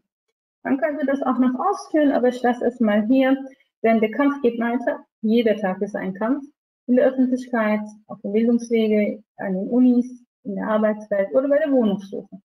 Dennoch bin ich kein Freund davon, äh, sich in eine Opferrolle zu begeben, sondern lösungsorientiert zu arbeiten. Deswegen habe ich Kleinigkeiten oder kleine äh, Schritte mit dir teilen wollen und die mitgebracht. Es geht darum, dass die Chancengleichheit im Bildungswesen beispielsweise äh, immer wieder thematisiert werden muss. Die Lösung, die man ähm, nicht erreichen kann, gibt es nicht. Es gibt für alles eine Lösung, aber manchmal muss man viel aufzeigen und dementsprechend daran arbeiten. Wenn im System Dinge falsch laufen, sollte man auch Mut haben, an die betroffenen Stellen und Behörden eine E-Mail beispielsweise zu verfassen und ein Feedback zu geben, also darauf hinzuweisen. Dann gibt es eben äh, auf personenbezogene Entwicklungsmöglichkeiten. Bildung und Partizipation ist sehr wichtig. Ganzheitliche Förderung auch interdisziplinär, das heißt im muslimischen Kontext. Wie bringe ich den ähm, heranwachsenden äh, Generationen sozusagen Islam bei? Ist das dieses ähm, Regelbünde sozusagen, das ich mitgeben möchte? Oder geht es darum, dass ich auch die Barmherzigkeit beispielsweise meines Schöpfers mit integriere? Also Religionspädagogik lässt da grüßen. Die Institutionen beispielsweise, die sich gegründet haben, die ich eben schon erwähnt habe, oder auch weiterhin äh, gegründet werden können, bedarf haben wir nämlich ganz viel. Und die Politik. Man darf es nicht unterschätzen. Ähm, viele, auch kurz vor den Wahlen beispielsweise, ähm, die ich mir anhören darf, sagen, sie haben keine Repräsentanten, deswegen wollen sie nicht wählen gehen aber auch aus der Foot-Szene heraus oder aus, dem Foot, aus der Foot-Perspektive heraus haben wir die Verantwortung für die Gesellschaft, in der wir leben. Von daher möchte ich auch diesbezüglich nochmal hier an der Stelle motiviert haben. Und gleichzeitig aus, ähm, ja, weil ich eben Top erwähnt habe, aus der Sunna, von den Hadithen, also den, ähm, das, was der Prophet, Fried und Segen sei, auch Ihnen gesagt hat, mit euch teilen. Nämlich, der nützlichste Mensch ist der, für den anderen Menschen von Nutzen ist. Und ähm, das ist einer der Motivationsgründe vielleicht, wieso, weshalb wir Dinge machen. Dann gibt es noch einen Kontext, beziehungsweise aus dem Quran-Kontext, wenn wir schon dabei sind, ähm, ein Vorbild, nämlich den Yusuf a.s. Ähm, zu ihm habe ich ja auch verschiedene Verse bzw. Beispiele mitgebracht, die ich jetzt etwas aufgrund der Zeit, glaube ich, kurz kürzer halten werde. Wenn was nötig ist, lieber Jan, Bruder Jan, bitte einfach ein Zeichen geben. Es geht darum nämlich, dass der äh, Prophet Yusuf, Friedensselige sei auf ihn, ähm, bewusst sich entschieden hat, in Ägypten zu bleiben, bewusst sich entschieden hat, vor Ort zu sein und sich sozusagen ähm, nach oben äh, gearbeitet hat im Prozess, der da war, weil er vertrauenswürdig war, weil man ihm äh, vertrauen konnte und und und. Ähm, er ist dort geblieben, der Stamm Beni Israel ebenfalls. Er konnte dadurch ähm, Mittel erlangen, um auch Bedürftigte zum Beispiel ähm, zu unterstützen. Wenn wir jetzt uns ihn ansehen und anhand des ähm, Hadithes, also des äh, Ausspruchs sozusagen des Propheten, Frieden sei auf ihn, uns zusammenfassen für heute, für mich, was das bedeutet, heißt es doch, dass meine Zugehörigkeit nicht nur etwas ist, das ich als Titel, als Etikett nutze, sondern dass es ähm, etwas sein sollte, was mich in allen möglichen Bereichen begleitet. Also zeigt sich mein Dien, wenn wir wieder zurückgehen auf Lifestyle, zeigt sich mein Dien in meinem Lifestyle, wie ich denke, beispielsweise mein Mindset, in meiner Bildung. Und das möchte ich nochmals unterstreichen. Wir müssen uns mit unserer Religion, mit Islam, ich, mit wir ähm, sind hier Muslime gemeint, befassen. Es ist so wichtig und so, so, so wichtig, dass man weiß, woran man auch glaubt. Wenn ich jetzt fragen würde, könnte jeder mir hundertprozentig hier in dem Raum es beantworten, wenn es um die Shahada ging, zum Beispiel, unser Glaubensbekenntnis. Aber was es bedeutet, nur einen Schöpfer zu haben, mal darüber nachzudenken, was der Prophet, ähm, und Siege sei auf während seines Werdegangs alles erlebt hat und wieso, wie er auf Menschen reagiert hat. Dass eben ähm, Bildung nicht nur bedeutet, dass man ganz viele äh, Surat, also ganz viele Kapitel aus dem Koran rezitieren oder auswendig kann, sondern dass man viel auch darüber nachgedacht und es verinnerlicht hat. Das ist sehr wichtig. Und da sollten wir nochmals vielleicht Bezug nehmen, um für unsere Entwicklung, aber auch für die Entwicklung für unsere Mitmenschen eben etwas beisteuern zu können. Die Begegnungschancen wahrnehmen und die eigene Wahrnehmung nochmals ähm, zu überdenken. Was bedeutet das? Ich habe in einem Zug, während ich äh, zur Uni fahre, die Möglichkeit, mit Menschen äh, zusammenzukommen, die ich vielleicht nie in meinem Leben sehen würde. Oder äh, dank der Pandemie ist das zwar jetzt schneller, aber dennoch die Begegnung auf äh, irgendwelchen Veranstaltungen oder Seminaren beispielsweise.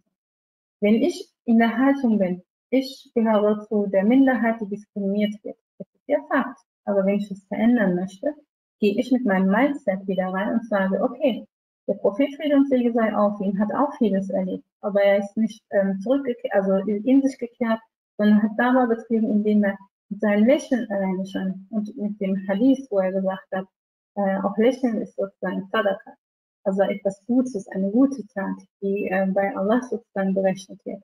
Dann habe ich nicht die Option zu sagen, ich habe Kreuz durch äh, die Gegend durchzugehen, sondern aus dem Inneren heraus, nichts Aufgesetztes, zu sagen, hey, ich bin hier.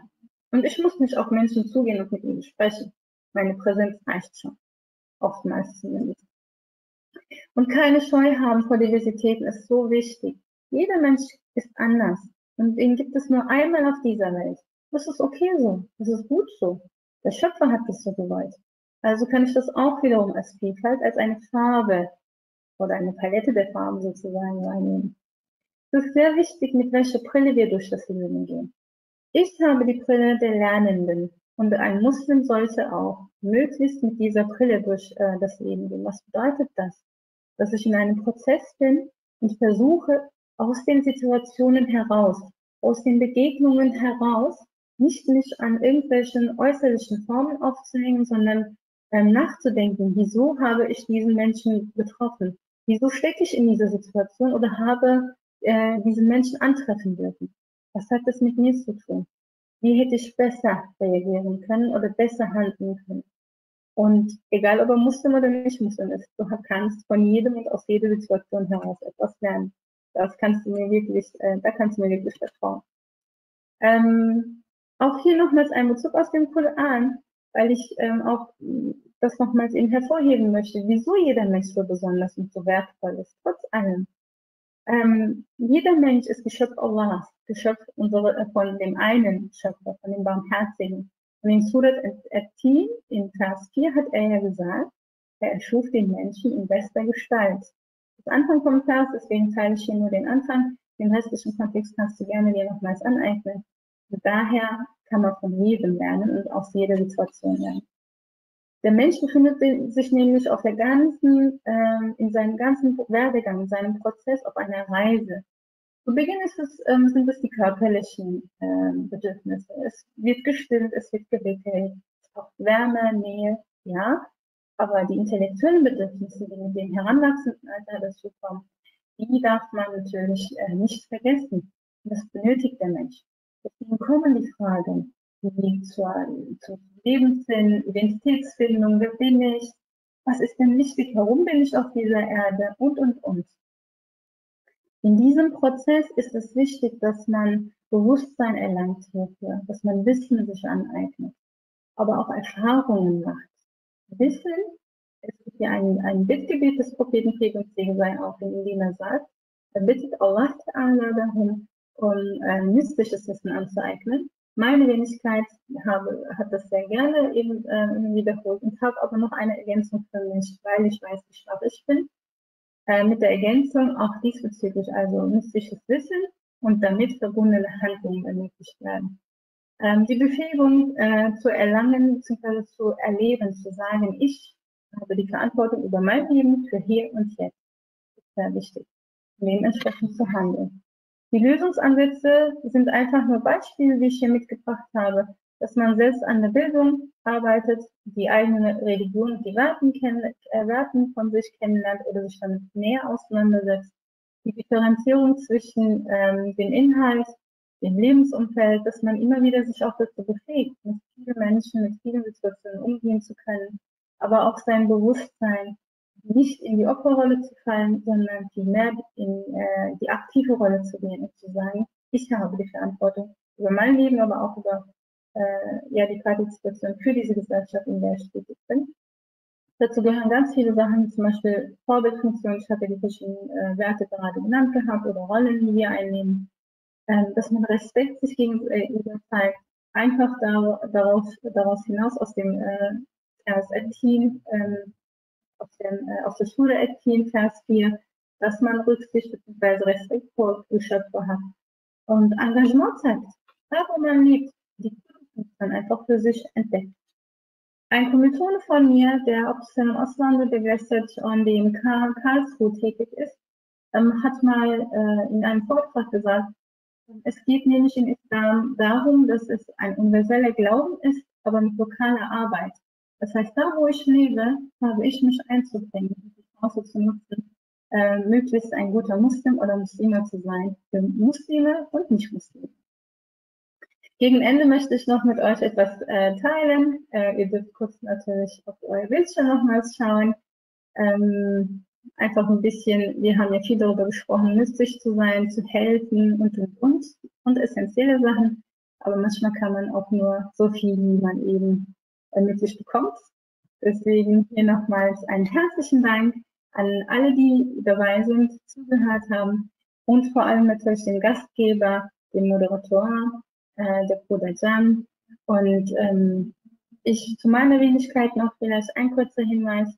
Äh, ich habe den Verein Serving Smiles gegründet. Es handelt sich um schutzbedürftige Kinder- und Pflegefamilienschaft, äh, das noch in Erarbeitung ist, in Aufbauphase ist. Also wer sich dafür interessiert für die Arbeit, kann gerne nochmals bei mir vorbeischauen. Vielen Dank und Jazakallah khairan.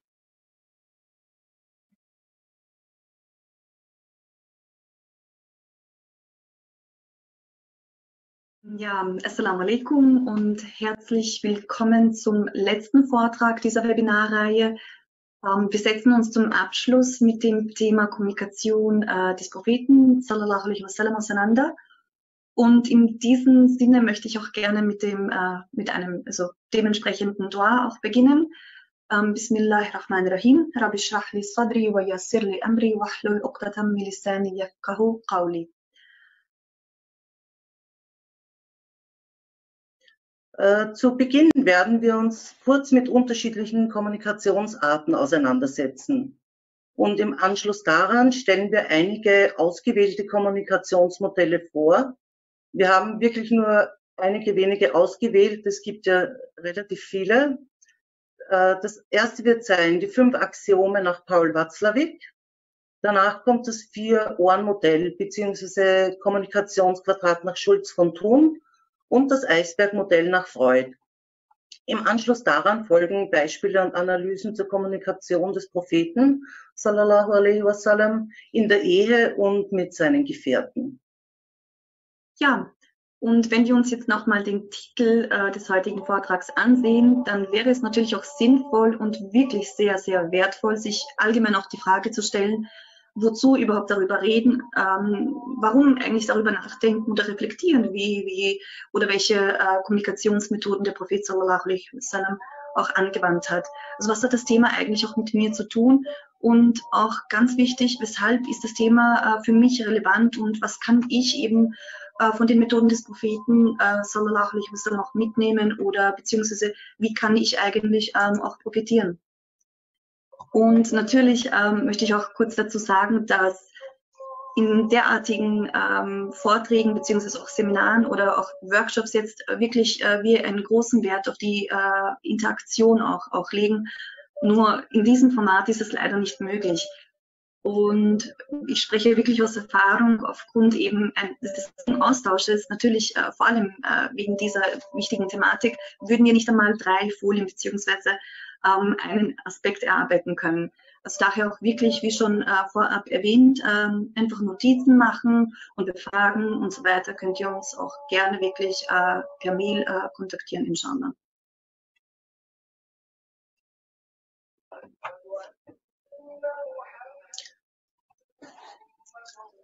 die Ayat und die Hadithe berichten klar und deutlich über die individuelle Verantwortung, die jeder Mensch hat beim Sprechen und äh, bei der Kommunikation und bei der Interaktion.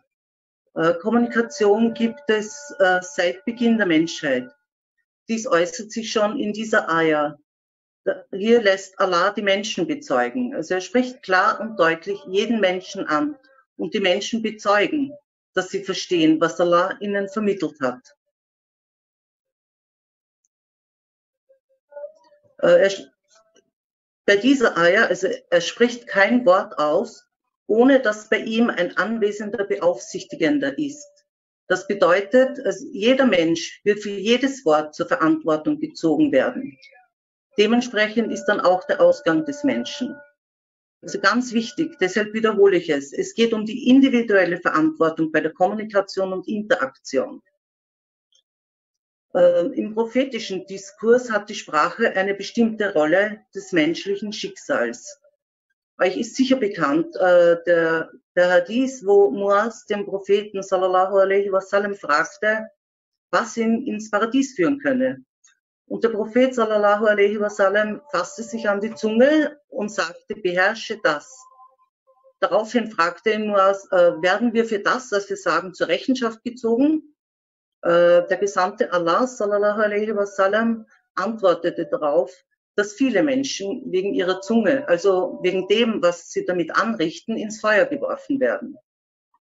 Und es besteht ein Konsens unter den Gelehrten, dass das Sprechen beziehungsweise die menschliche Kommunikation und Interaktion, äh, sei es jetzt verbal oder nonverbal, der Schlüsselindikator des menschlichen Charakters ist.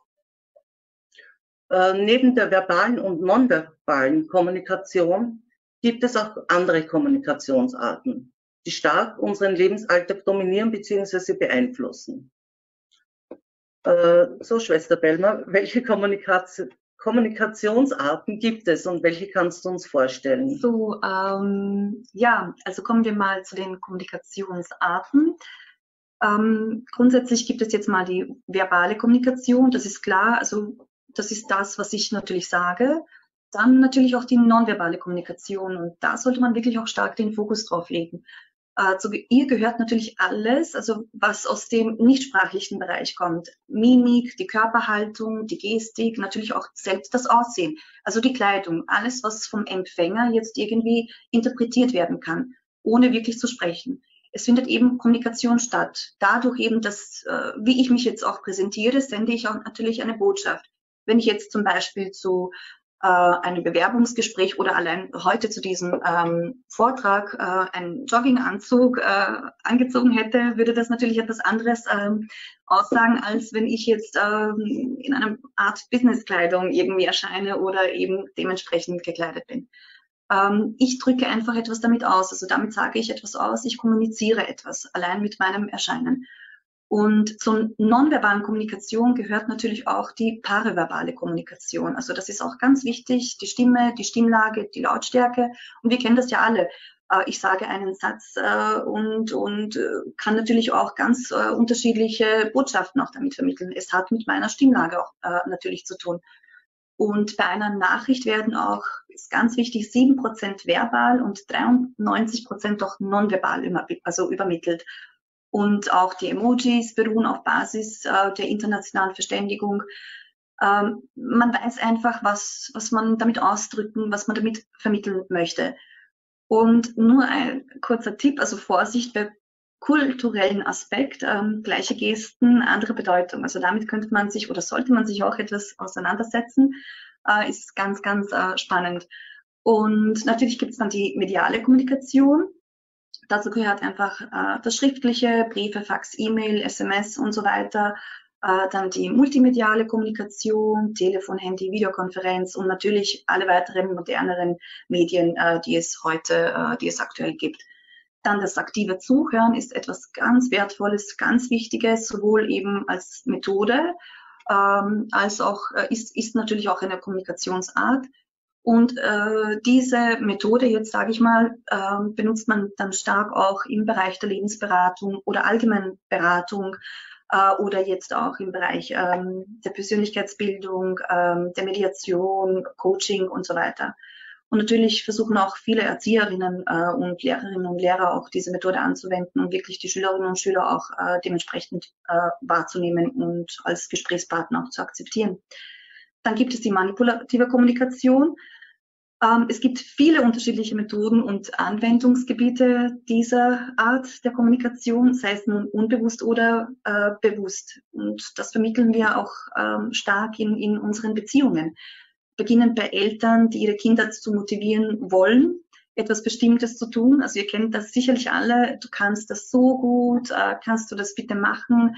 Weiters natürlich in der Paarbeziehung, ähm, aber auch ganz natürlich ähm, andere Kommunikationsebenen, wie im Beruf oder in der Wirtschaft, Politik, Werbung. Also da gibt es wirklich äh, einiges, äh, was darunter fallen könnte. Einfach Manipulation durch Sprache, äh, Manipulation von Informationen, Bedürfnissen. Das ist leider ganz schwierig, auch in, in Beziehungen äh, jeglicher Art oder auch Manipulation durch Erzeugung von Angst, durch Schuldgefühle. Das haben wir auch oft auch bei Eltern- und Kinderbeziehungen oder auch natürlich in der Paarbeziehung und natürlich Manipulation durch Wiederholung.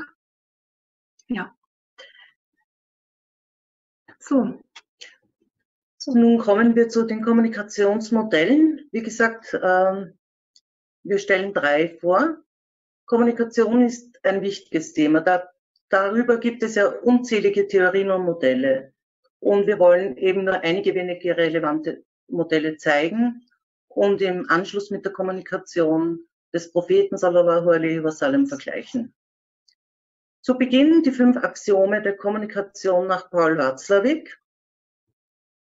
Äh, wir fassen diese Erkenntnisse jetzt nur kurz zusammen. Ja? Das erste ist, man kann nicht nicht kommunizieren. Also auch wenn man nichts sagt, kommuniziert man. Durch vorhandene oder nicht vorhandene Gestik, Mimik, durch die Körperhaltung. Äh, Punkt zwei, also das zweite Axiom, ist der Inhalts- und Beziehungsaspekt. Jede Kommunikation wird auch von der Beziehung der beiden Gesprächspartner und ihren Gefühlen beeinflusst. Das heißt, es wird bei einer Kommunikation nie nur sachliche Information vermittelt.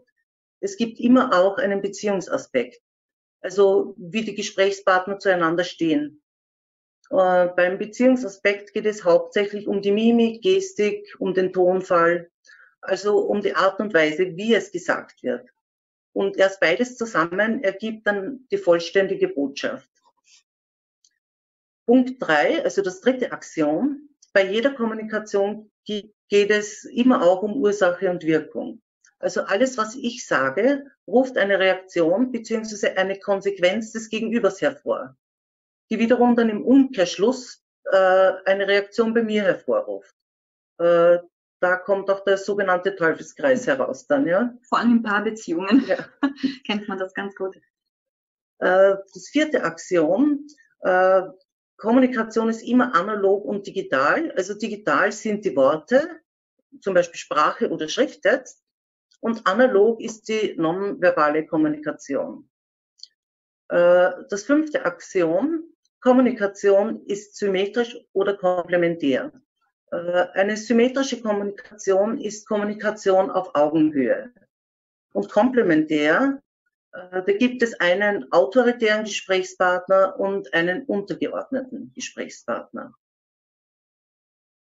So, dann kommen wir zu einem weiteren sehr bekannten ähm, Modell, und zwar das Eisbergmodell nach Freud.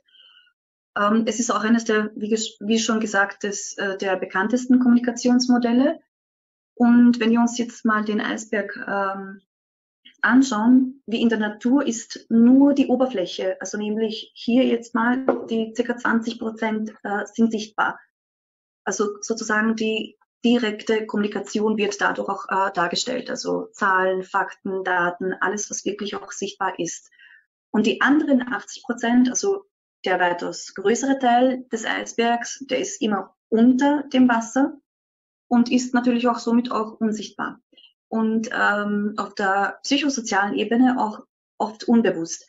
Und dazu gehören natürlich Emotionen, Instinkte, Traumata, Erfahrungen, ähm, auch Triebe und äh, natürlich auch unterschiedliche Wertevorstellungen äh, und so weiter. Äh, für diese sind natürlich jetzt äh, die Indikatoren auch die Mimik, Gestik und Körpersprache also wie wir auch schon gehört haben, einfach die wirklich nonverbale oder auch die paraverbale Kommunikation.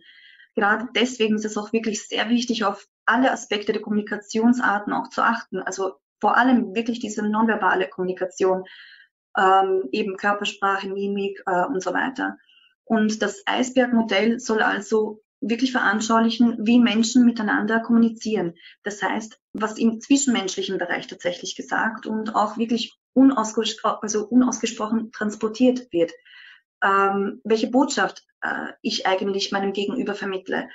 Und jetzt mal zusammengefasst, also die Sachebene, wenn wir uns den Eisberg wieder mal äh, anschauen, äh, bei ihr handelt es sich um die sichtbare, also die bewusste Ebene. Hier existieren eben Fakten, Informationen und Daten und eben auf der Beziehungsebene beziehungsweise auch die psychosoziale Ebene, also unter der Oberfläche.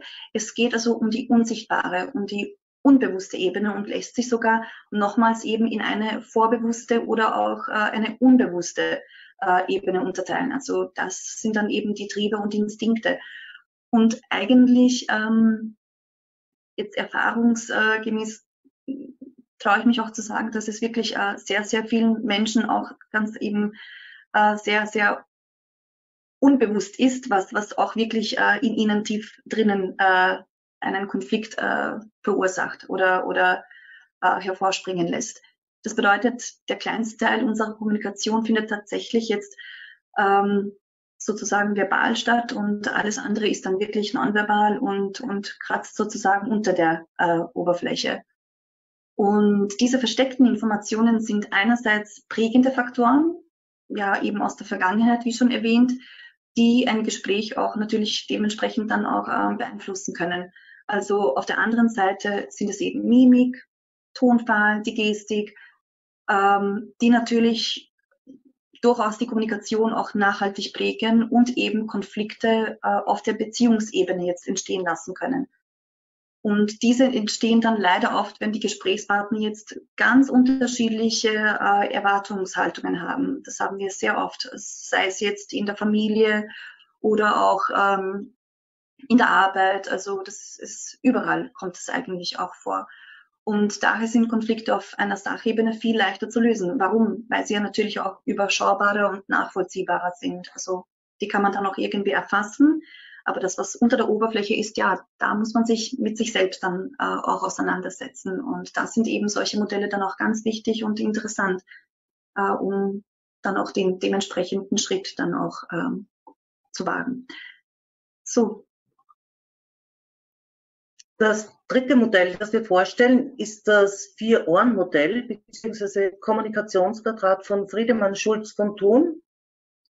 Äh, er entwickelte dieses Modell, um Kommunikation zu beschreiben und äh, Störungen, die eventuell in der Kommunikation auftreten können, äh, auf den Grund zu gehen. Seiner Meinung nach sind in jeder Nachricht vier verborgene Botschaften enthalten. Das erste ist der Sachaspekt. Diese, die Nachricht enthält also Sachinformationen, Fakten, Daten ohne Interpretation. Und der Empfänger muss nun entscheiden, ob das wahr oder falsch ist, relevant, irrelevant, ob die Informationen ausreichend sind oder nicht ausreichend. Zugleich hat aber jede Kommunikation auch einen Selbstoffenbarungsaspekt. Das heißt, wenn einer etwas von sich gibt, dann gibt er auch etwas von sich. Ja? Äh, jede Äußerung also äh, hat einen Teil, der auf die Gefühle, Werte, auf die Ansichten äh, und auch auf die Bedürfnisse des Senders verweist. Ja? Äh, diese Selbstoffenbarung kann explizit äh, also via Ich-Botschaft kommuniziert werden oder aber implizit, also nicht ausdrücklich gesagt werden. Die Kommunikation hat auch den Beziehungsaspekt. Also wie behandle ich meinen Mitmenschen durch meine Art der Kommunikation? Äh, dieser Beziehungsaspekt zeigt, äh, wie der Sender zum Empfänger steht und was er also in Folge von diesem hält. Ähm, dieser Beziehungsaspekt und die Art und Weise zu sprechen, ja, und die konkrete Formulierung, wie man jetzt etwas kommuniziert, aber auch die Mimik, Gestik und Tonfall, ja. Auch die Beziehungsebene kann implizit oder explizit sein. Äh, und wenn der Empfänger jetzt eine Nachricht auf dem Beziehungsohr hört, kann er sich wertgeschätzt fühlen, ja, oder auch gedemütigt, geachtet oder missachtet sowie respektiert oder abgelehnt fühlen. Ja? Äh, die Nachricht hat äh, weit auch noch einen Appellaspekt. Wenn jemand etwas kommuniziert, also wenn jemand etwas von sich gibt, dann will er in der Regel etwas damit er erreichen oder bewirken, ja. Äh, Im schlimmsten Fall auch Einfluss oder Manipulation, äh, was ja meistens negativ behaftet ist. Auf der Appellseite können also Wünsche, Appelle, Ratschläge oder auch Anweisungen kommuniziert werden, die entweder offen oder verdeckt erscheinen. Ja. Hört der Empfänger eine Nachricht mit seinem Appellohr, fragt er sich, äh, was soll ich jetzt tun oder was will ich jetzt nicht tun? Da, glaube ich, kommt es dann auch auf die, so dieser Seite auch wirklich zum Konflikt meistens, oder? In ja. diesem Fall schon, ja. wenn nicht ja. klar ist, was ge gemeint ist. Ja. So, äh, und betrachtet man jetzt dann auch eben die unterschiedlichen vorgestellten Kommunikationsmodelle, lassen sich dann natürlich auch ähm, oder lassen sich eben alle bei der Kommunikation des Propheten sallallahu alaihi wasallam auch finden. Wir zeigen euch dann im Anschluss äh, an ein paar vorgestellte Kommunikationsmethoden äh, oder Arten des Propheten äh, auch äh, zwei Beispiele und was auch ganz interessant ist, ähm, ich glaube, das, das äh, wissen auch sicherlich einige oder eh alle, dass der Prophet auch, sallallahu alaihi wasallam, ähm, zum Beispiel im Buch von Michael Hart, äh, ich glaube, äh, die 100 einflussreichsten Menschen der Geschichte auch Erwähnung äh, gefunden hat. Und dann auch wirklich dort eben auch den ersten, äh, sozusagen auf den ersten Platz gereiht, äh, Platz gereiht wurde. Und das ist auch was ganz Bedeutendes, äh, denke ich mal, subhanallah, ähm, dass, dass man wirklich dadurch auch von Nichtmuslimen sozusagen auch diese, diese Zeichen äh, gesetzt äh, bekommt äh, und, und eben auch die Bedeutung und Wichtigkeit äh, der Kommunikationsmethoden oder allgemein äh, der Erziehungsmethoden, äh, Lehrmethoden des Propheten sallallahu alaihi wasallam auch zu unterstreichen. Ähm, und jetzt kommen wir auch zu den äh, einigen wenigen auch ähm, von unzähligen, subhanallah, ähm, Kommunikationsarten ähm, des Propheten. Ähm, und ganz wichtig auch, äh, glaube ich, ist auch sehr bekannt eben die dreimalige Wiederholung oder das dreimalige Wiederholen. Ähm, der Prophet sallallahu alaihi wasallam wiederholte seine ähm, Lektion oft dreimal ähm, vor denselben Leuten auch oder er zeigte auch äh, dreimal etwas vor, um es wirklich auch äh, sozusagen zu unterstreichen. Dann kann man auch diese Methode bei manchen äh, Imamen auch während der Freitagspredigten auch beobachten. Also das nehmen sie schon einige als Beispiel. Dann das Storytelling. Ähm, ich glaube, das kennen viele auch als aus, aus, aus dem Bereich der Pädagogik oder auch jetzt im Bereich der Persönlichkeitsbildung. Und auch der Prophet äh, sallallahu alaihi wasallam ähm, wandte diese Methode an, also damit sich die Gefährten auch wirklich das Gesagte leichter einprägen konnten, äh, sprach natürlich prägnant und klar, ähm, er schuf mentale Bilder eben mit Worten und wiederholte, wie schon erwähnt, auch äh, wichtige äh, Botschaften oder Ideen dreimal. Ähm, parallel dazu verwendete er auch sehr stark äh, die Stimme und, und auch die Gestenhinweise, also wie vorhin auch bei der para, paraverbalen Kommunikation und der nonverbalen und die natürlich auch mit seinen Worten übereinstimmen äh, konnten. Und hier kann man auch das Beispiel mit dem Mann und dem durstigen Hund, also den Hadith, äh, erwähnen. Der Prophet schuf einfach eine Szene, eine Kulisse, äh, die sich dann wirklich auch einfacher und, und stärker auch einprägen ließ. Dann auch äh, die Methode äh, Analogien oder Vergleiche, Gleichnisse setzen.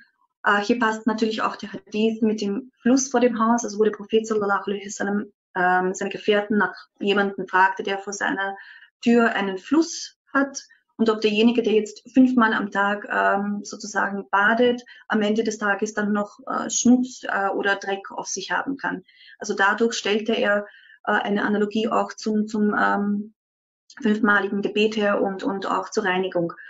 Und ähm, ja, also einfach die Vorstellungskraft, die er versuchte auch, oder die Neugier der Zuhörer auch zu steigern. Also das ist äh, ganz interessant und viele Lehrer wenden das dann auch an äh, oder jetzt äh, im, im Coaching-Bereich, dass man einfach auch wirklich äh, die Wahrnehmung der, der Teilnehmerinnen und Teilnehmer versucht zu überprüfen. Also das finden wir alle, subhanallah, bei Propheten sallallahu alaihi wasallam. Ähm, die wohl häufigste Methode ähm, war es, auch Fragen zu stellen, um eben auch wirklich die Aufmerksamkeit und, und die Neugier auch der, der oder, oder das Nachdenken allein äh, anzuregen und auch wirklich zu aktivieren. Und ähm, ich glaube, es gibt zahlreiche Ahadis, äh, wo der Prophet sallallahu alaihi wasallam beginnt, soll ich euch erzählen oder wollt ihr wissen, um einfach anzuregen und die Aufmerksamkeit auch dadurch zu steigern. Und das wäre auch, denke ich, für Eltern auch ein Tipp, ähm, sich diese Methoden auch anzueignen, sich damit auseinanderzusetzen, um wirklich die Kinder als gleichwertige ähm, Gesprächspartner auch mit einzubeziehen und sie wirklich auch in ihrer Rolle auch ähm, wahrzunehmen und ernst zu nehmen. Dann die Illustration, ähm, Zeichnung und Diagramm. Ähm, der Prophet sallallahu alaihi wasallam ähm, verwendet auch eben Analogien, um ein Thema auch verbal zu erklären. Also verwendet er auch Illustrationen, um einen Punkt grafisch darzustellen. Und in diesem Zusammenhang zeichnete der Prophet auch eine gerade Linie durch den Sand und zeigte dann natürlich auch Linien nach rechts und Linien nach links, von der ersten Linie abgehend. Also dann äh, erklärt er ihnen anhand dieser Linien den, den geraden Weg. Und das ist ganz interessant, äh, wenn wir auch bedenken, ähm, welche Methoden äh, unzählige äh, Methodenkisten oder Koffer es gibt und die lassen sich dann subhanallah wirklich auch beim Propheten äh, sallallahu alaihi wasallam finden. Äh, eine weitere Methode, die der Prophet sallallahu alaihi wasallam oft an, angewandt hat, äh, ist die Methode, mit eine Frage mit einer Gegenfrage zu beantworten. Und er regte dadurch zum Nachdenken an, äh, indem er eben eine Frage mit einer Gegenfrage erwiderte. Äh, zum Beispiel, als einmal ein Beduine äh, den Propheten sallallahu alaihi wasallam fragte, wann ist die Stunde? Äh, der Prophet antwortete darauf, was hast du für diese Stunde vorbereitet? Äh, weiter zum Beispiel praktische Anwendung, Lernen durch Handeln und Erleben. Also seine Lehren basierten auch auf Lebenserfahrungen als Gelegenheit zur Unterweisung. Äh, da gibt es auch viele Beispiele wo der Prophet sallallahu alaihi wasallam etwas erklärt ähm, indem er einfach an einer Sache teilnimmt. Also zum Beispiel gemeinsames Vorbereiten des Essens. Einer kümmert sich um das Brennholz zum Beispiel, ein anderer um das Schaf und so weiter. Oder beim Bau der Moschee in Medina, wo er selbst mitgearbeitet hat. Äh, dazu gehört auch äh, die Demonstrationsmethode. Äh, da benutzt er gelegentlich auch Gegenstände dazu. Zum Beispiel nahm er in die linke Hand Seide und in die rechte Hand Gold und sagte, dass diese Dinge für die Männer seiner Oma verboten sind und für die Frauen erlaubt. Oder in einem weiteren Beispiel zeigte der Prophet die Gebetswaschung vor, auch mehrmals. Äh, was noch wichtig ist, äh, er ermahnte quasi seine Gefährten, keine unnötigen Fragen und Diskussionen äh, zu führen. Ähm, also er warnte sie davor, alles bis ins kleinste Detail zu diskutieren. Man macht sich dadurch das Leben manchmal selber nur schwer, ja. Genau. Und dann auch eine weitere Methode, äh, wie wir hier sehen können, ist äh, Teaching Moments. Also der Prophet fokussierte sich auch sehr stark auf ähm, situationsbedingte äh, und wirklich auch individuelle Ratschläge wie auch in einem Hadith, wo ein junger, junger Sahabi in die Schlacht ziehen wollte und der Prophet sallallahu alaihi ihn dann auch natürlich darauf fragte, ob seine Eltern noch am Leben sind und er ihm dann auch den Ratschlag gab, sich um seine Eltern zu kümmern.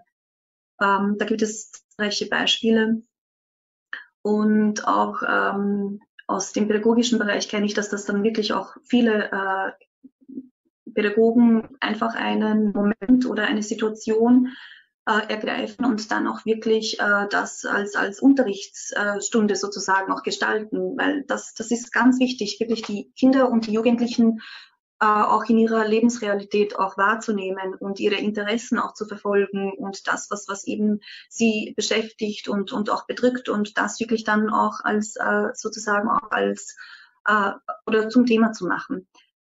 Dazu natürlich auch die nächste äh, weitere Methode des Propheten, was, was jetzt auch zu der vorigen auch gut dazu passen äh, würde, ist eben das aktive Zuhören.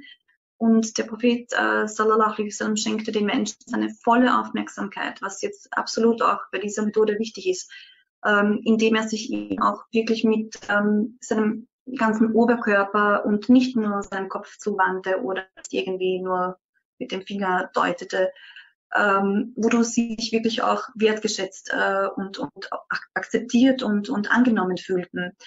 Und in einer Versammlung saß er äh, irgendwo in der Mitte, was auch natürlich auf Gleichheit hindeutete. Und schaute auch niemanden zu lange ins Gesicht oder er benutzte seine volle Handfläche, um auf Menschen zu zeigen, anstatt mit dem Finger zu zeigen und sie nicht in Verlegenheit auch zu bringen. Also das ist auch ganz wichtig.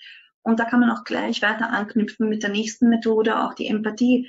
Also der Prophet sallallahu alaihi wasallam ging mit Empathie auf die Fragen und wirklich auch die, auf, die Anliegen oder generell auf die, auf die Gefährten und Gefährtinnen ein und fordert ihn natürlich auch sie selber auch äh, dazu heraus, sich eben in die Rolle der anderen auch hineinzuversetzen und zu schauen, wie geht es ihnen dabei. Und ähm, ich glaube, ein sehr bekannter Hadith wäre auch ähm, Fragen zu Sinner äh, wo der Prophet sallallahu alaihi wasallam einen, äh, einen Gefährten fragte, würdest du das für deine Schwester, deine Mutter, deine Tante, deine Tochter und so weiter wollen?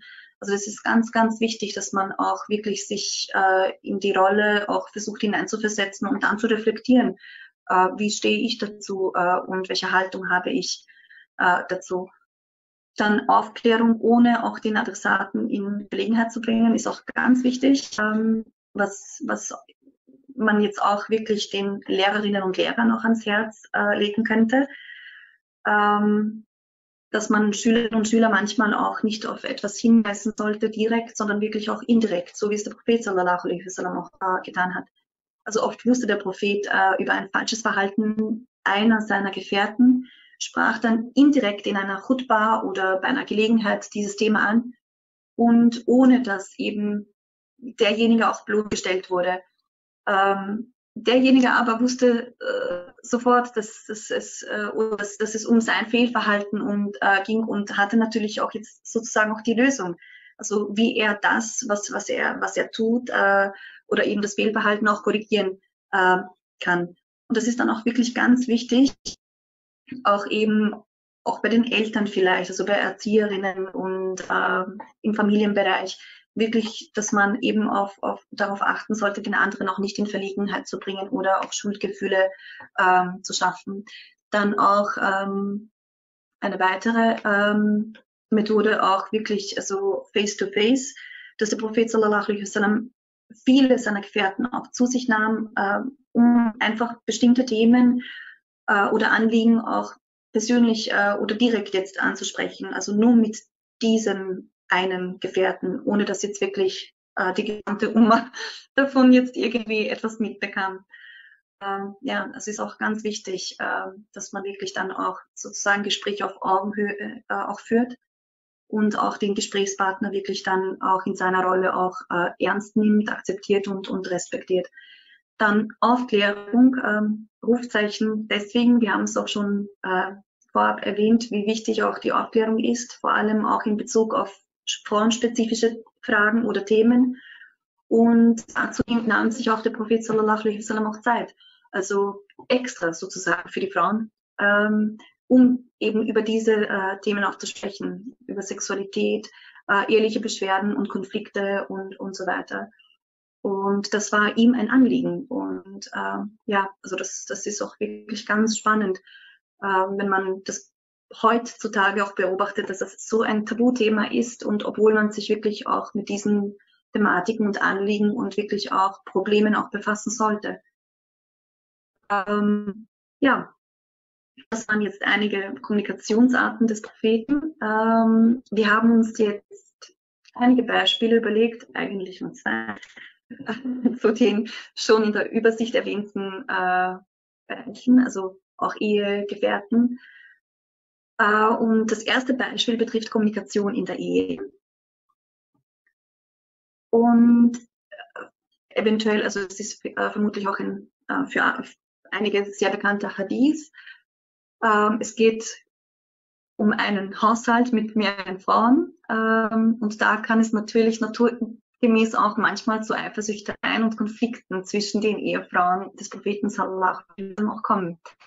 Und so ist eine Überlieferung bekannt, dass ähm, Hafsa ähm, gegen Sophia äh, radiallahu anha stichelte. Ähm, an dies wird auch äh, sehr gut ersichtlich, wie empathisch, mitfühlend ähm, der Prophet sallallahu alaihi wasallam äh, mit seinen Ehefrauen auch umging. Wie besorgt er äh, um sie war, wertschätzend. Ähm, er hörte ihnen zu, nahm sie in ihrer Rolle ähm, auch, auch wirklich äh, wahr.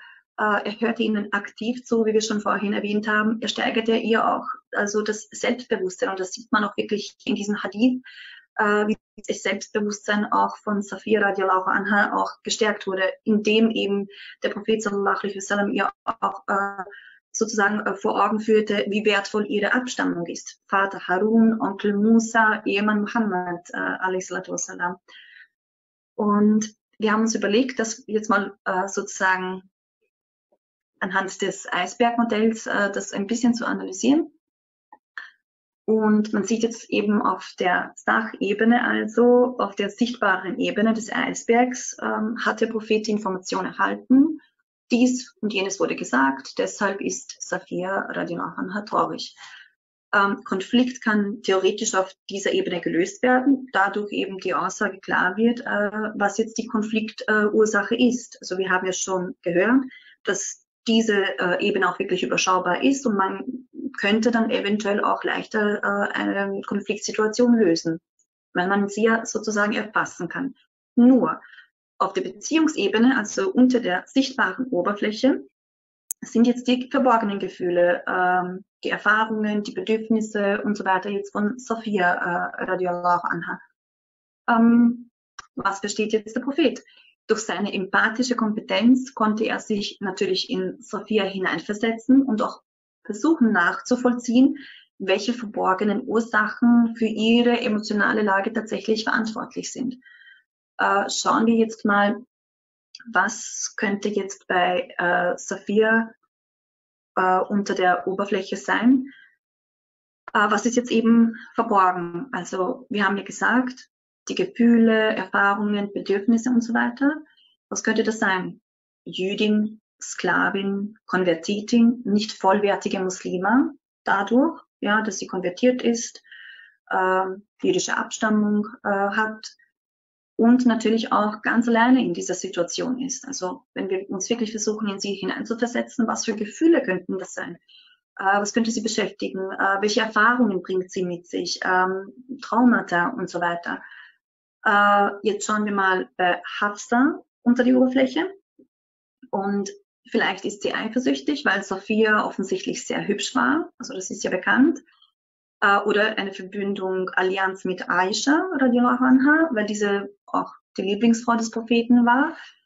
Ähm, anhand dieser Methode kann man dann also üben, sich wirklich in andere hineinzuversetzen und versuchen zu eruieren, was unter der Oberfläche des anderen jetzt wirklich ist. Also vielleicht irgendwelche Ängste oder so. Und das ist wirklich ein wunderbares Beispiel.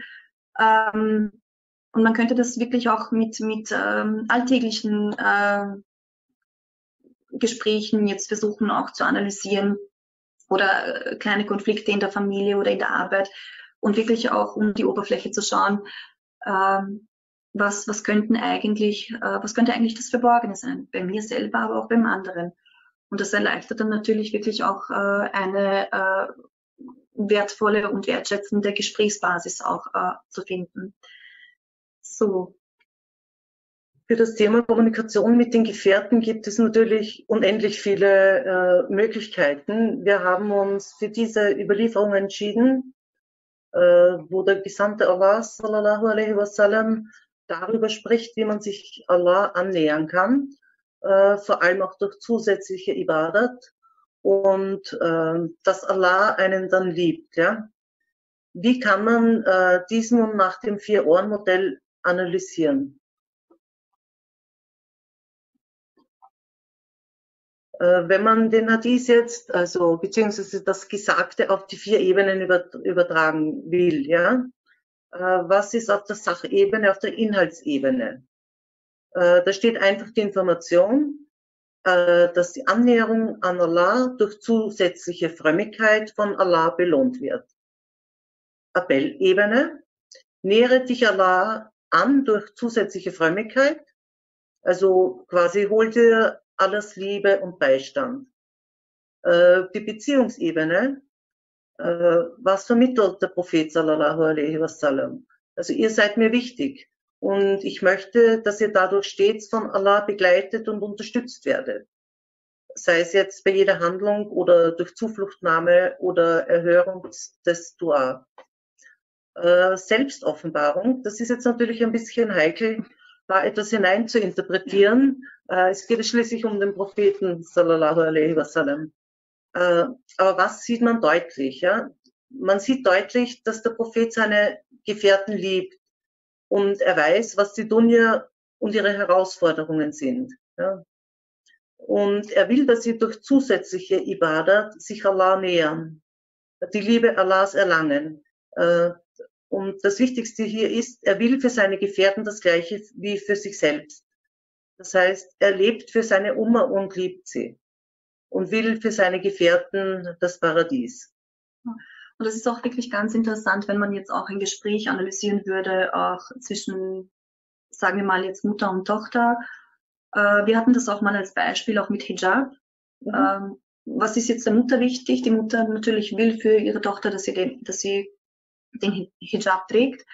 Ähm, was ist jetzt aber der Tochter wichtig? Und das sind wirklich, das ist, das ist einfach eine Methode oder man kann das wirklich auf alle, also diese vorgestellten Methoden könnte man äh, wirklich auch äh, versuchen herauszufiltern, was, was den Gesprächspartnern jetzt auch äh, wirklich wichtig ist und, und äh, welche Argumente ähm, sie äh, mit sich bringen und das dann wirklich auch äh, sozusagen mein Gegenüber auch versucht, ähm, sich in meine äh, Rolle oder das, was mir wichtig ist, auch hineinzuversetzen und versucht nachzuvollziehen, warum mir das wichtig ist. Und man kann es ja nicht äh, akzeptieren, aber man kann einfach äh, das versuchen zu respektieren. Und damit man dann eine gesunde Gesprächsbasis auch dann äh, dadurch auch entwickelt, äh, eine nachhaltige eher. Und ähm, dann ließen sich auch andere Thematiken dann leichter erarbeiten. Ähm, ja, zum Abschluss haben wir ein paar Impulse, äh, die wir euch mitgeben möchten, eben aus der folgenden Ayah. Ähm, ihr, die den Iman verinnerlicht habt, seid euch Allahs bewusst und sprecht aufrichtige Worte. Also sprich ehrlich. Ähm, Nein sagen, auch wenn man also wirklich äh, Nein meint. Ja, also nicht jetzt irgendwie ein Mitläufer sein, sondern Nein ist Nein oder Nein bedeutet Nein. Klartext sprechen, weniger ist mehr. Also man soll klare Anweisungen geben, was man will oder was man sich erwartet. Äh, es erspart einfach Missverständnisse und das, das kann man wirklich auf jeden Bereich übertragen. Äh, als Pädagogin kann ich das auch sagen. Äh, wenn man einen klaren, äh, klare Anweisung zu einem Auftrag erteilt, dann kennen sich auch die Schülerinnen und Schüler aus und es kommt natürlich auch zu keinen äh, Missverständnissen. Natürlich kann immer etwas ähm, hier und da passieren, aber ist dann eher nicht eben ähm, der sozusagen ein Regelfall. Ähm, dann je klarer man also spricht, desto größer ist auch wirklich die Wahrscheinlichkeit, dass das Gegenüber auch tatsächlich eben das versteht, was man auch ausdrücken will auch einfach keine Scheu dazu haben, einfach wirklich Klartext sprechen. Auch der Prophet hat immer klar gesprochen und auch dementsprechende klare Anweisungen gegeben. Und durch Nachfragen oder dieses mehrmalige Wiederholen hat er sich auch äh, eben rückversichert, ob auch wirklich das von ihm auch wirklich Gesagte bei den Adressaten und bei der Zielgruppe auch wirklich jetzt angekommen ist. Dann sprich schön und mit Güte. Allah liebt das Schöne. Sei empathisch und höre auch aktiv zu. Also man soll sich bemühen, sich in den anderen hineinzuversetzen. Das haben wir jetzt einige Male schon gesagt äh, und erwähnt. Also beim aktiven Zuhören sich auf wirklich den anderen einlassen, nicht jetzt äh, unterbrechen und nachfragen, das Gesagte einfach wiedergeben, ähm, wenn etwas unklar ist. Also verbal zustimmen, ja, ich verstehe, äh, da gebe ich dir recht und auch nachfragen, kannst du das bitte noch einmal genauer erklären, das habe ich nicht gut verstanden ähm, die eigene Meinung auch am Anfang eher zurückhalten. Also man könnte auch, wenn es um eine Gruppendiskussion geht, beim aktiven Zuhören jetzt auch, man könnte dann auch Argumente sammeln, die unterschiedlichen Meinungen und dadurch äh, währenddessen dann auch seinen Standpunkt irgendwie reflektieren und äh, man ist eigentlich im Vorteil. Ähm, dann Pausen aushalten und nicht auch wirklich dazwischenreden, das ist ganz wichtig dann beim aktiven Zuhören jetzt nonverbal, ein offener Blick, ähm, Nicken. Man kann auch äh, oder man sollte einfach versuchen, auch den Blickkontakt auch zu halten. Und man kann sich natürlich auch immer Notizen machen. Das ist auch ganz wichtig, dass man wirklich dann auch dem Gegenüber zeigt, ähm, dass, dass man äh, seinen Gegenüber oder, oder eben den Gesprächspartner jetzt äh, wahrnimmt in, in seiner Rolle und auch äh, zeigt einfach Wertschätzung und Interesse auch dann spricht differenziert, jeder ist einzigartig. Also das muss man, glaube ich, nicht jetzt mehr erläutern, das sagt schon alles. Ähm, ermahne achtsam und lass auch Streitpunkte nicht eskalieren. Also bleibe auch bei einer Diskussion äh, oder in einem Konflikt gerecht. Das ist ganz wichtig. Respektiere eben das Gesagte, auch wenn du es nicht akzeptierst. Äh, das bedeutet, habe Respekt einfach vor anderen Meinungen. Ähm, auch wenn du jetzt diese Meinung nicht vertrittst oder äh, eben nicht der gleichen Meinung bist. Aktuelle Beispiele, Impfung oder Fiqh-Thematiken, die, glaube ich, äh, begleiten uns äh, immer. Ähm, sei dir deiner Interaktion bewusst und bleibe auch wirklich authentisch. Ähm, sei reflektiert, aus vielen lässt sich lernen. Also Selbstreflexion bewirkt auch wirklich Wunder. Und allgemein äh, die Selbstreflexion äh, behilft einem auch wirklich zu wachsen. Und wer Iman an Allah und den jüngsten Tag hat, soll auch gute sprechen oder schweigen. Das kennen wir ja auch schon. Ähm, in diesem Sinne bedanken wir uns herzlichst ähm, für eure Teilnahme